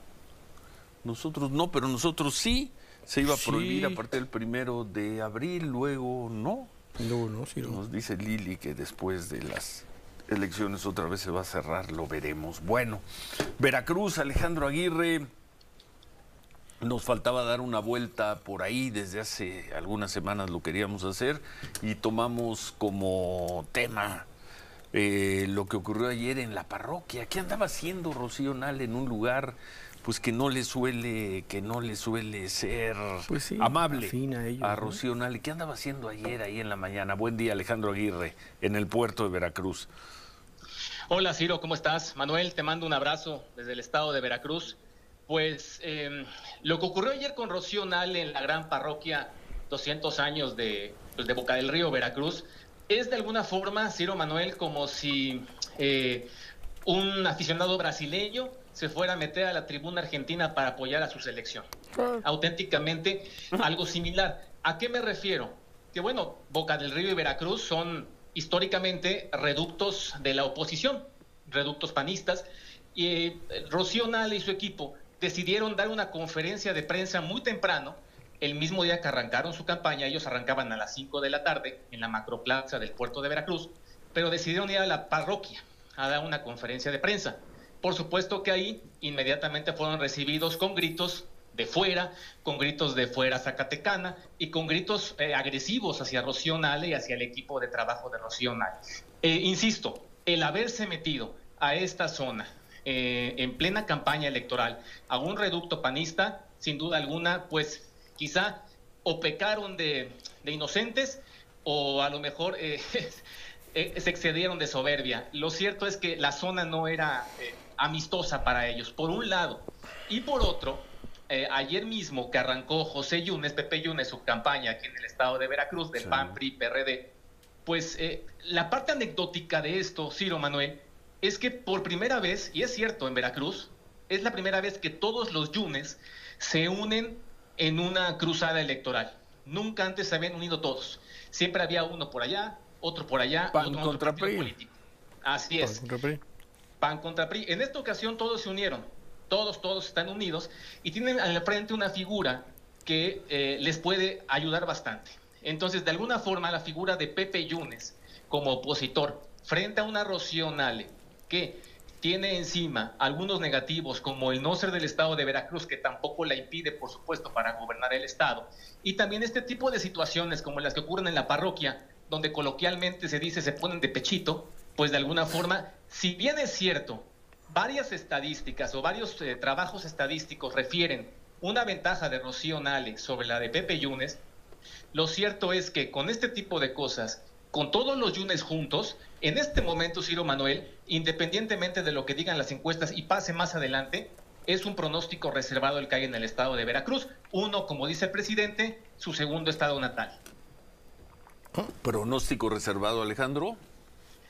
Sí, pronóstico reservado porque a pesar, insisto, de que las estadísticas marquen una ventaja de Rocío Nale, lo cierto es que todavía faltan dos meses de campaña y si estas cosas siguen ocurriendo como las de hoy, eh, eh, la brecha podría irse reduciendo. E insisto, a los Yunes, cualquiera que sea su segundo apellido en el estado de Veracruz, se les conoce por operar electoralmente bien. Y si se juntan todos, pueden hacer un trabajo interesante frente a Rocío Nale, que también trae un equipo interesante. Y si deja de cometer esos errores, esto se va a poner, conforme se vaya acercando el día de la elección, sin duda alguna color de hormiga. Si bien es cierto, insisto, en este momento pareciera que si hoy fueran las elecciones, ganara Rocío Nale, tomando en cuenta que faltan dos meses de campaña, sin duda alguna yo avisoro una, temporada electoral muy, muy llamativa aquí en el estado de Veracruz. Yo insisto que Veracruz, Ciro Manuel, sigue siendo la joya de la corona. Oye, los Yunes son Miguel Ángel Padre, Miguel Ángel Hijo, Pepe y Héctor, básicamente. Eh, es correcto, es Héctor Yunes, Pepe Yunes, que es el candidato, Miguel Ángel Yunes Márquez, que es hijo de Miguel Ángel Yunes Linares, al igual que Fernando Yunes Márquez, que ya fue senador y alcalde, y por supuesto Miguel Ángel Yunes Linares, que fue gobernador de Veracruz y secretario de gobierno también en algún momento. ¿Y, ¿y le están metiendo los cinco o nada más salieron a tomarse una foto? Fíjate que es, fue muy interesante porque eh, la gente se preguntaba si Miguel Ángel Yunes Linares saldría a tomarse una foto, pues con priistas, como el caso de Pepe Yunes. Y lo hizo, se tomaba una foto en, la, en el café de la parroquia, por cierto. Y, eh, y después Miguel Ángel Yunes Linares, en un hecho pues, también anecdótico, fue a dar una conferencia invitado a la Fundación Colosio de Veracruz. Entonces empezaron a decir que era increíble que Miguel Ángel Linares pisara otra vez un suelo priista. Todo parece indicar hasta ahorita que ninguno de los Yunes, se apellide Linares, se apellide Márquez o se apellide Zorrilla, se están guardando las armas para mm. buscar lo que ellos quieren, arrebatarle el poder a Morena. A lo mejor después de ganar, si es que ganan, a lo mejor ahí se vuelven a separar, Ciro. Bueno. Pero ahorita tienen un objetivo. ¿Y quiénes, aparte de Pepe, quiénes de ellos van a competir el 2 de junio? Bien, es Pepe Yunes eh, como candidato, a gobernador. Miguel Ángel Yunes Márquez, que es el hijo de Miguel Ángel Yunes, que perdió la, elección pasada con Cuitlagua García, recordemos. Él es candidato al Senado de la República por la por PAN PRI PRD. Y también está compitiendo eh, Fernando Yunes Márquez. Bueno, no competencia, él va por la vía plurinominal para diputado local. Y Miguel Ángel Yunes Linares es eh, suplente de su hijo, Miguel Ángel Yunes Márquez. Son todos los Yunes que están involucrados en, este, en esta elección. Insisto, de manera plurinominal y de manera uninominal. Héctor no está, ¿verdad? Héctor no está. Muy probablemente, muy probablemente Héctor termine y ande el acomodo de las cosas como diputado local plurinominal. Es muy probable que por ahí finalice. Es uno de los personajes más activos del PRI en Veracruz. Muy probablemente acabe siendo diputado plurinominal priista. Difícilmente va a acabar fuera del entramado político en el estado de Veracruz, porque además él también se dio de alguna forma frente a Pepe Yunes. Gracias, gracias Alejandro Aguirre. Atentos estos dos meses allá en Veracruz. Gracias, buen día. Estaremos muy atentos. Fuerte abrazo, Ciro Manuel. Gracias, gracias. Gracias. Pausa, pausa, Estamos por la mañana. Hacemos un corte. No le cambie.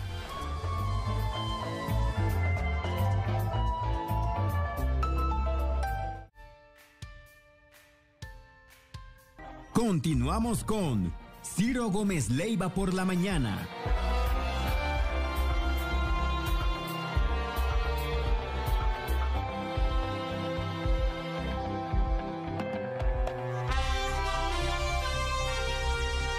protestas de lunes ahí en el Zócalo, Leopoldo Espejel, de quién te escuchamos, buen día.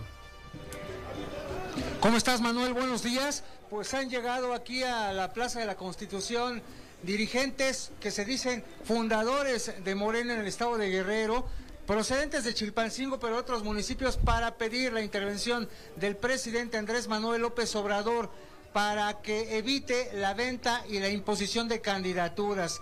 Han señalado principalmente a Mario Delgado, pero también a Jacinto González, quien es el dirigente estatal de Morena en Guerrero, además de a Félix Salgado Macedonio de vender candidaturas y por ello están en este lugar. Han quemado ya, Manuel, algunas piñatas con la imagen de un toro haciendo alusión precisamente al padre de la gobernadora Evelyn Salgado, de quien dicen también sentirse defraudados.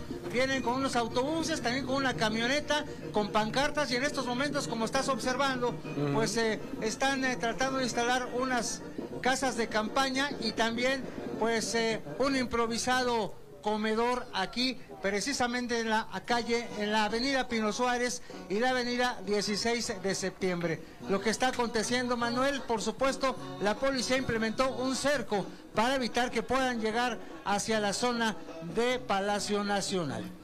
Bien, bueno, muchas gracias. Muchas gracias a Leopoldo Espejel. Muchas gracias por sus comentarios. Me reportan que hoy me tocó a mí de regreso de Semana Santa, me tocó allá en Palacio Nacional, o me está tocando, porque el presidente ya ves que va. Y va y, viene, va y viene. Pero bueno, que hoy dedicó más de 10 minutos, más de 10 minutos, Sofía, más de 10 minutos a decir lo mismo, lo mismo que lleva cinco años y medio diciendo, cinco años y medio sobre mí, sobre mi trabajo, a calumniarme los miércoles que está aquí con nosotros el Pigmenio, le digo es que me calumnia el presidente. Y me dice, no, no, no, pero ya no lo, ya no lo ha hecho. Eh, eh, la calumnia es una acusación falsa con muy mala intención y para causar daño. La mentira de que yo iba a desayunar con Genaro García Luna, eso no es cierto. Eso simple y sencillamente no es cierto. Él sabe que no es cierto, él no tiene forma de probar que sí es cierto, pero lo repite, lo repite, él supone que para causar eh, pues un daño, no sé si a mi imagen, a eh, credibilidad, qué, qué sé yo. Pero también, y si esto ocurre, creo que él no le, no le preocuparía demasiado, para ver si puede trasladar ese malestar, esa sensación a las calles. Y en las calles nunca faltan algunas algunas personas que creen en el, en el presidente y que piensan que hay razones suficientes para insultar a alguien o para agredir a alguien. Espero que no para dispararle a, a alguien. Y parece, parece, por lo que me dicen, que el motivo de su enojo de hoy es que la semana pasada, creo que el lunes o martes, en el noticiero de la noche, en imagen, presentamos un video que acababa de difundir horas antes el gobierno de El Salvador. Y lo presentamos como un ejemplo de la reacción ante un crimen.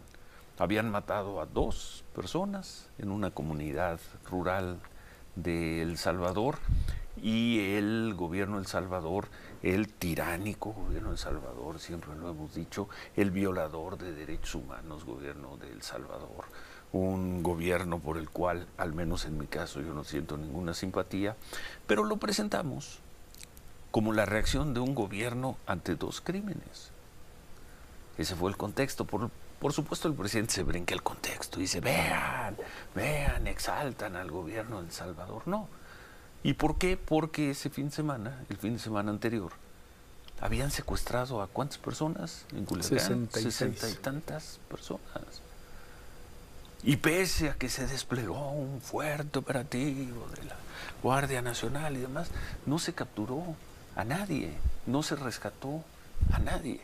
Y porque seguramente ese fin de semana, el fin de semana de la semana de pasado, no este que acaba de terminar, sino hace 10 días, fue uno de los fines de semana con más muertos en México. Y nadie dice nada en Palacio Nacional en Palacio Nacional se siguen viendo el ombligo y diciendo que qué bien lo han hecho.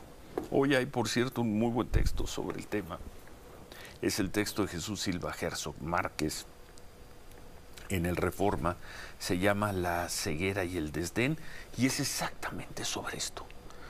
Es que hay secuestros masivos. No, pero el país está en calma. Es que hubo una matanza en tal lugar. Sí, pero la mayor parte de los mexicanos tienen confianza en lo que está ocurriendo. Eh, Jesús Silva Herzog lo escribe, hace este análisis en relación al discurso de Claudia Sheinbaum, cuando dice que no ve un país eh, violento, que no ve un país gravemente dañado por la, la violencia. Como tampoco lo ve Palacio Nacional. El que este siga siendo el país de los 80 75, 84 asesinatos diarios, entre otras cosas, por no hablar de extorsiones, linchamientos, secuestros, robos con violencia. Prueba una sola cosa, presidente López Obrador, y con esto termino, su gobierno fracasó estrepitosamente ante el crimen. No sé si fracasó, o la estrategia de su gobierno de no enfrentar al crimen, pues dio estos resultados y le trajo este dolor al país. Eso es todo lo que tengo que decir. Y bueno, sigue usted utilizando, finalmente usted los maneja como si fueran suyos, los recursos públicos, los medios públicos, para agredir y en mi caso, para calumniar, porque está repitiendo una mentira lo hace de manera maliciosa y lo hace para causar algún efecto, para causar un daño. Usted conmigo, no yo con usted. Usted conmigo es un, es un calumniador. Un calumniador. Desde el poder. Qué pena que termine así su gobierno. Qué pena. Pero bueno, quedan seis meses. A ver, en seis meses, ¿dónde estamos usted y dónde, dónde estoy? Faltan seis meses, vamos a ver si llegamos a esos seis, seis meses. Si no tenemos alguna otra sorpresa por ahí, presidente, en estos seis meses. Y yo creo que eh, después de tantas cosas que hemos visto que hace el presidente, dice el presidente, no presenta una sola prueba, no está de más insistir, Ciro en pedirle pruebas al presidente lo que dice, porque una cosa fue la ridícula república de los otros datos, la que él planteaba, ¿no? Yo tengo mis datos, yo digo mis cosas y me creen porque soy el presidente. Eso que mucha gente decía, el gran Tlatoani. Bueno, no ha podido probar en el sexto año de su gobierno que todavía esté ruino una sola vez en lo que dice con Genaro García Luna. No porque haya estado mal, sino, ¿eh? Ya había dicho que fui a, una vez, una tarde, yo a pedirle una entrevista, yo a pedirle información una vez. ¿Y has platicado la conversación alguna vez cuando te busco por teléfono para pedir que una imagen no se repitiera tantas veces en el canal de Milenio? Es decir, ha habido transparencia de parte tuya, no del presidente, no del presidente.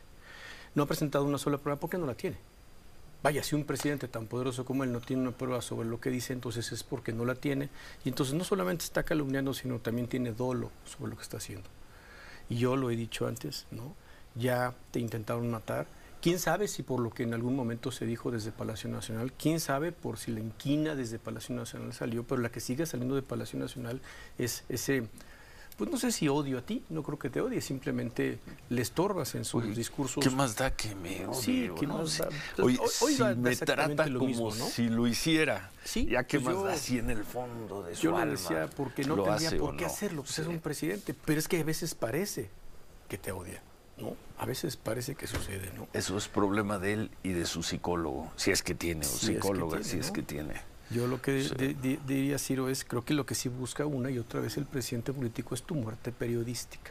Él sí quiere ser tu asesino periodístico de tu actividad periodística, de tu actividad pública. Él sí lo quiere, sí lo quiere hacer. Lleva cinco años y medio. Intentando matarte periodísticamente hablando. Sí. Qué pena, como tú bien dices, qué pena, porque lo conocimos, tú lo conociste mucho más que yo. Pues yo en la etapa en la que lo conocí me pareció un personaje no solo interesante, inteligente, abusado, atrevido, cinco años y medio, duro. Y, dale, no nada más conmigo, no nada más conmigo. hay, algunos, algunos compañeros más. Cinco años y medio de golpeteo desde Palacio Nacional con todos los recursos públicos a su alcance cinco años y medio. Falta medio año, presidente, falta medio año. Llegaremos, acabaremos este sexenio, quién sabe. Pero por lo pronto ya van cinco años y medio, presidente. Y por lo visto, y contando. 9.35, hacemos pausa, volvemos.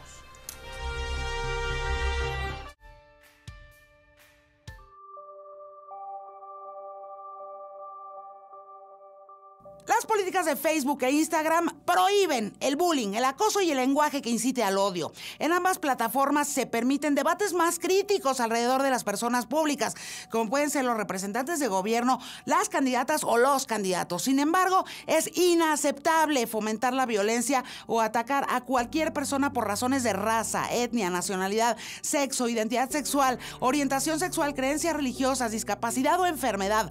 Tampoco se permiten amenazas graves para la seguridad pública o personal. Si ves este tipo de contenidos en Facebook o en Instagram, por favor repórtalo. Para hacerlo, selecciona los tres puntitos que vienen hasta arriba del contenido que deseas denunciar y elige reportar. Después el equipo de revisores de Meta va a analizar el contenido y si infringe las políticas de la plataforma, pues va a eliminarse. Mañana.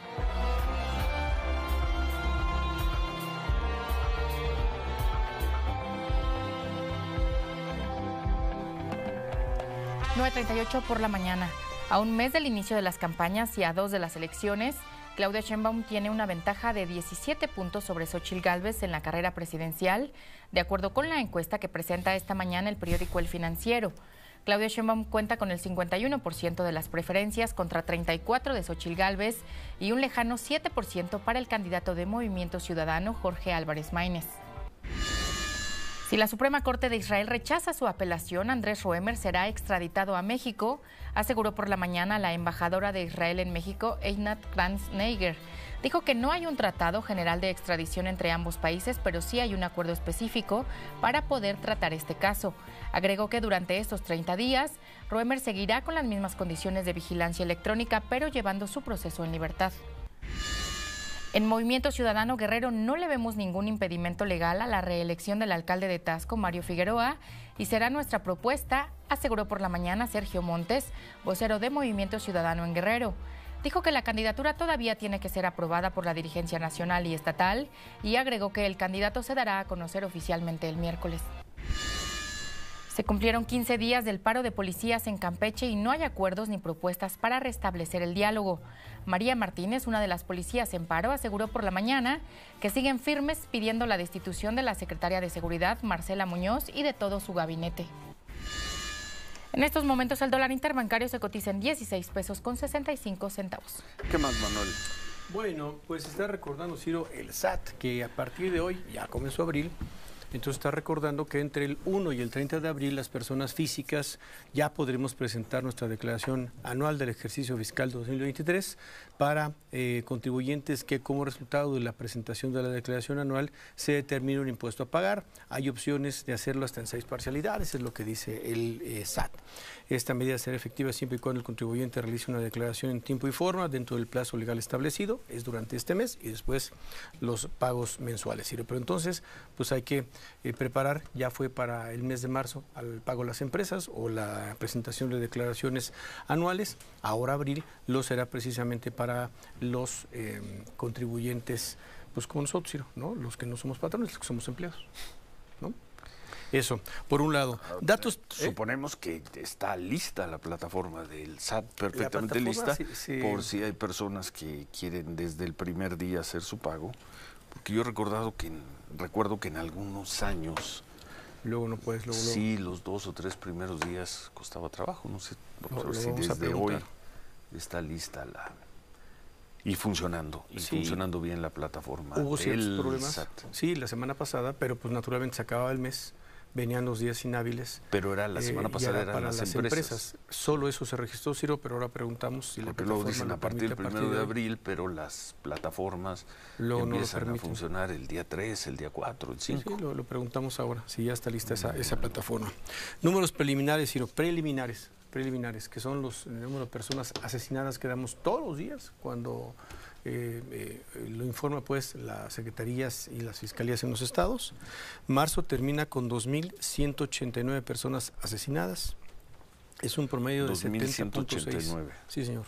¿Cuántas? 2.189. Y 70. Y 70.61% es el promedio diario. 70.6 personas. 70.6 personas, sí. Asesinadas. Asesinadas. Enero es el segundo de este año con 2.137 personas asesinadas y el caso de febrero 2024 y conste que ese mes le volaron y no lo reintegraron el registro del día 21 de febrero, o sea, deben muertos. ¿Qué pasó el 21 de febrero? Pues lo subieron un día y luego lo bajaron de la plataforma, Ciro, y ahí está desaparecido. ¿Cuánto es 2024 entre 29? Está en 69.7. 69.7. O sea, subió la cifra de homicidios en marzo. Sí, correcto. Bueno, pues les quedan algunos días para Sí, ¿cómo lo ajustamos para que baje un 35%, Ciro? 35, porque el país está en calma el país está en paz. Muchas gracias. Gracias en verdad por sus, por sus comentarios. Sí, son seis meses y medio. Esto nos tocó. Bueno, esto fue, esto ha sido estos cinco años y medio. Así han sido. Es sin duda una estrategia, sin duda a estas alturas. No puede ser otra cosa, una estrategia de, de la presidencia de la República para tratar de debilitar, mermar, dañar a periodistas. ¿Qué tanto lo consiguió? Pues, pues aquí hemos seguido literalmente contra viento y marea, pero aquí, aquí hemos seguido. Si mañana ya no apareciera aquí, si mañana ya no apareciera en el programa de la noche, de cualquier forma habríamos estado cinco meses y medio de los seis, cinco años y medio de los seis de este, de este gobierno, ¿no? Y así, así hemos estado. ¿Por qué hizo esto el presidente? Pues habría que algún día tratar de entender, él no lo dirá. Él dirá que porque es, eh, tiene que politizar y denunciar y porque antes no se decían estas cosas. Pero cinco años y medio prácticamente sin parar, hostigando periodistas desde el gobierno, desde la presidencia de la República, con todos los recursos, con esa fuerza, con todas las implicaciones que en México sigue teniendo la palabra de un presidente. Pero bueno, repito, así fuera hoy el último programa, ya estuvimos como el 90%, no, como el 80%. A ver, Jaime, tú que eres bueno para eso, como el 80 y tanto por ciento del tiempo de este sexenio. Ya. Pues sí, sí o no. Si el de hoy fuera el último programa. ¿Y si ¿Cuánto? 91. Ya, si hoy fuera el último programa, ya llevaríamos el 91.6%. No está mal. No, no está Aguantamos hasta el 91.6%. Ya. Los demás ya no. Y si tomas en cuenta que hoy también se le fue a los dueños de los medios, porque él considera, él considera que los, fíjate nada más, que los dueños de los medios de comunicación deben de hacer periodismo. No sé de dónde saca eso. ¿no? Es como decía hace rato Lilite, y es como el presidente no sabe de herbicidas. Entonces imagínate el presidente eh, haciendo levantando cosecha. ¿Te lo imaginas? No. Pues es lo mismo, no tiene nada que ver una cosa con la otra. Pero pues hoy se le fue a todo el mundo. ¿Por qué? Pues igual porque no tiene temas, igual porque está aburrido, igual porque es una estrategia permanente para estar mermando medios de comunicación. Pues aguantamos 91.6% del sexenio. Incluidos por ahí, presidente, incluidos por ahí nueve balazos, ¿eh? 91.6%, si hoy fuera el si hoy fuera el último día. Pues sí. Bueno. Otro tema, Ciro. Ya consultamos con el SAT a la pregunta específica si la plataforma para presentar declaración y pago está disponible a partir de hoy mismo. La respuesta simplemente es qué bueno. Está disponible. Muchas gracias. Qué bueno, porque eso ayuda a personas que de todas formas van a pagar. Sí. Y que quizá ya separaron su, su dinero y lo quieren hacer de inmediato, pues que lo hagan de inmediato. Claro, sí, bueno. Bueno, muy bien. Pareja, el Cruz Azul también ha aguantado 91.6. Pues aguantó 90 minutos sin que le metieran gol, pareja. Vi un rato el segundo tiempo. Qué cosa, qué cosa. Cruz Azul.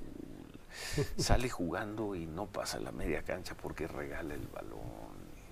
Qué cosa. Además se entiende, ¿eh? al final del partido la alineación del Cruz Azul pues era lo, lo que hay aquí sí que es lo que, hay, lo que hay. Ya no tiene más. yo no conocía a, pues a nadie cuando sacaron a Antuna que tampoco es así un fenómeno de popularidad pues ya no quedaba nadie pareja. Y aún así, los Pumas, que atacaban y que se veían más organizados, se veía un equipo más profesional que el Cruz Azul, pero así que digas un trabuco, tampoco pareja. Mm, no. ¿Cómo estás? Ciro, por la mañana, buenos días. Manolito, buenos días. Pareja, muy buenos días. Bien, bien. Eh, se jugó este partido de Pumas Cruz Azul y la verdad tienes toda la razón.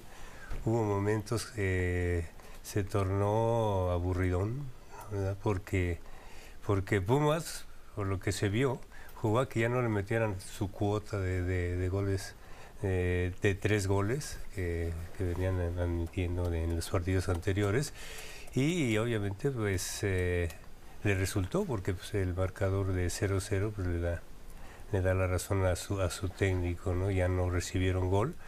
Y, y, Pumas, le digo, mm, en el primer tiempo no se vio ese equipo local que con mayor intensidad, le, faltó muchas cosas, porque en el, en el primer tiempo desaparece Huerta, no para nada apareció Huerta, el chino Huerta, y, y pues eso lo, lo aprovecha Cruz Azul que tuvo algunas algunos acercamientos inclusive inclusive el portero el portero de los Pumas tuvo ahí un error, pero de esos errores que hubiese sido el, oso del torneo, que se le va el balón por el medio de, las piernas, y, luego, y luego se los anula por un fuera del lugar como por dos centímetros o tres centímetros.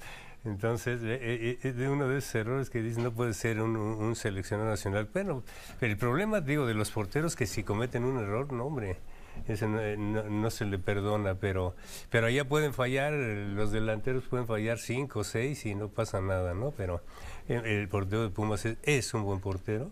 Y ¿Pero qué? ¿Lo anularon? ¿Lo anularon? Sí, lo anularon por un fuera del lugar de, ahí, que, según esto, que, estorbó un poco al portero. Bueno, sacaron cada cosa ahí que dicen, no, no es posible, no es posible que te anulen un gol como estos, que por una, un supuesto, bueno, que, que sí, que sí le fue empezar el partido. Sí, sí, sí, sí, sí, sí, ese, ese le había dado otro otro rumbo, te digo, inclusive al mismo juego, un juego más abierto, porque la verdad no, no, no. Ahora sí que quedaron a deber los dos equipos.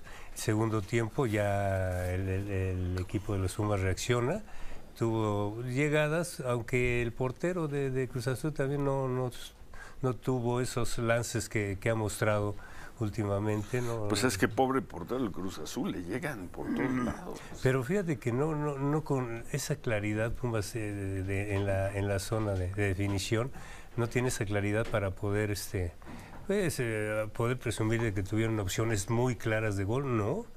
No, no, no, llegan, llegan, pero sin, sin eh, te digo, sin esa claridad para poder meter uno o dos goles. Con un, un gol eh, que hubiesen anotado, Cruz Azul se hubiera abierto y, tal vez, tal vez el partido hubiese mejorado mucho más. Pero no, no pasó eso. Eh, Cruz Azul eh, intentó con, su, con algunos cambios, pero pues ya se sabe que tiene un, plantel muy corto y estos revulsivos no, no mejoran, no mejoran el, el, accionar del equipo ni a la ofensiva ni a la defensiva, ni en forma colectiva, ni menos en forma individual. Entonces, ahí, ahí se tiene que ver, que ver, que ya no, ya no podrían ahorita en este momento traer refuerzos, pero el trabajo ahí se va a ver del entrenador para la liguilla, porque al no tener eh, bueno, buena banca, a ver qué va a pasar con ellos en la, en la liguilla. Lo más factible es que pues en la primera en la primera fase adiós adiós te digo. ¿En qué lugares van Cruz Azul y Pumas? Ahorita Cruz Azul está en el quinto lugar y los Pumas se encuentran hasta el 11 y hasta el 11 lugar ya los Pumas y que ven ahora te digo ya no admiten gol que eso fue muy muy importante ahora nada más falta que la metan. Y ojalá ojalá que así suceda porque pues, tiene que estar ahí. Pumas el que el que sí viene al alza es Toluca Toluca que ya está en el tercer lugar a dos puntitos de, de, América y de Monterrey. Y Tigres, pues ya sabe, está también en el cuarto lugar. Y Cruz Azul, Pachuca, Necaxi, Querétaro también lo está haciendo muy bien, lo está haciendo la, eh, siendo la sorpresa de, de este torneo Querétaro, ahí va, Ahí va a estar en, el octavo lugar, en el play-in, en el mm. famoso play-in. Interesantísimo.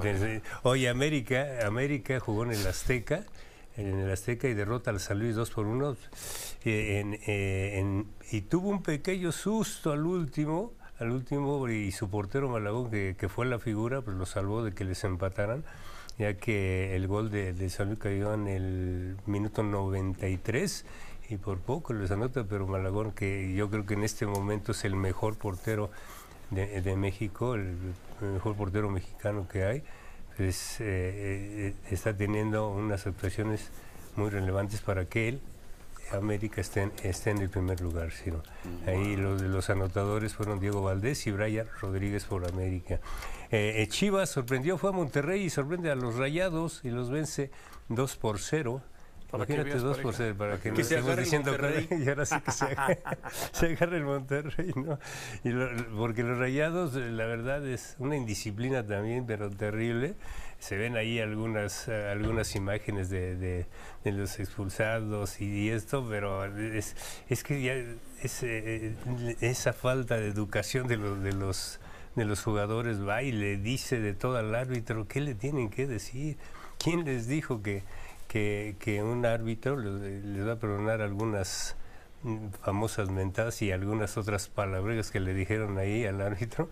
Dice, es que no puede ser que, que, el jugador y que el jugador sea tan irrespetuoso con el que lleva el control del juego. Pues, eh, parece fácil, pero controlar a 22 jugadores es pues difícil, es, difícil, pero pues, si llegas y por cualquier cosa le están diciendo pues, que están provocando, pues que se empiece a molestar eh, el, señor y de ahí los empieza a agarrar y después primero una tarjetita y posteriormente viene, viene la roja, Ciro. Eh, en otros resultados, Puebla, Puebla eh, pierde como local con los Tigres 3 por 2, Mazatlán le gana a Tijuana 2 por 0, Pachuca pierde con Toluca 3 por 2, Atlas 2, Querétaro 3, Necaxa 1, León 2 y Juárez, que se puso la playera aquellas con la que jugamos el último año de allá en, Ciudad Juárez, gana, le gana a Santos 2 por 1. 2 por 1, La, la, jornada 14, viernes, Mazatlán contra los Pumas, Tijuana contra Necaxa, sábado León, Querétaro, Chivas, Puebla, Tigres, Pachuca, Cruz Azul, Monterrey, Santos América, Domingo Toluca Atlas y San Luis contra Juárez. A ver. Sí, nada más de las 13 personas que estaban todavía privadas de su libertad de, Nuevo León y que presuntamente estaban en Tamaulipas, informa la Fiscalía de Nuevo León que ya fueron liberadas. qué bueno, qué bueno, qué bueno. Bueno, ¿algo más, pareja? Nada más de la Conca Champions se juega mañana la, fase de cuartos de, final. Mañana Columbus Crew contra Tigres y Nueva Inglaterra contra América. Miércoles Inter de Miami, parece que no va a estar Messi contra Monterrey y el Herediano contra Pachuca la próxima semana. Vienen los partidos de, vuelta. Eso, nos vemos la próxima semana, si te parece, pareja. Muy bien. Que vivan los Pumas. Sí, que vivan Que viva México. Bueno, gracias, gracias pareja, nada más. importantísimo, López Obrador anuncia, Ciro, que en ocho días, el día del eclipse va a estar en Mazatlán, Ciro, para que todos estén tranquilos. El eclipse es el lunes, ¿va? El lunes que viene. ¿Y a qué hora? Entre las 10 y las 12 y media. Bueno, lo vemos, pareja. Gracias, gracias a todas las personas que nos escuchan, gracias a todas las personas que escribieron hoy. Muchas, muchas gracias. Se quedan con Marco Regil. Buen inicio de semana. Pásela muy bien.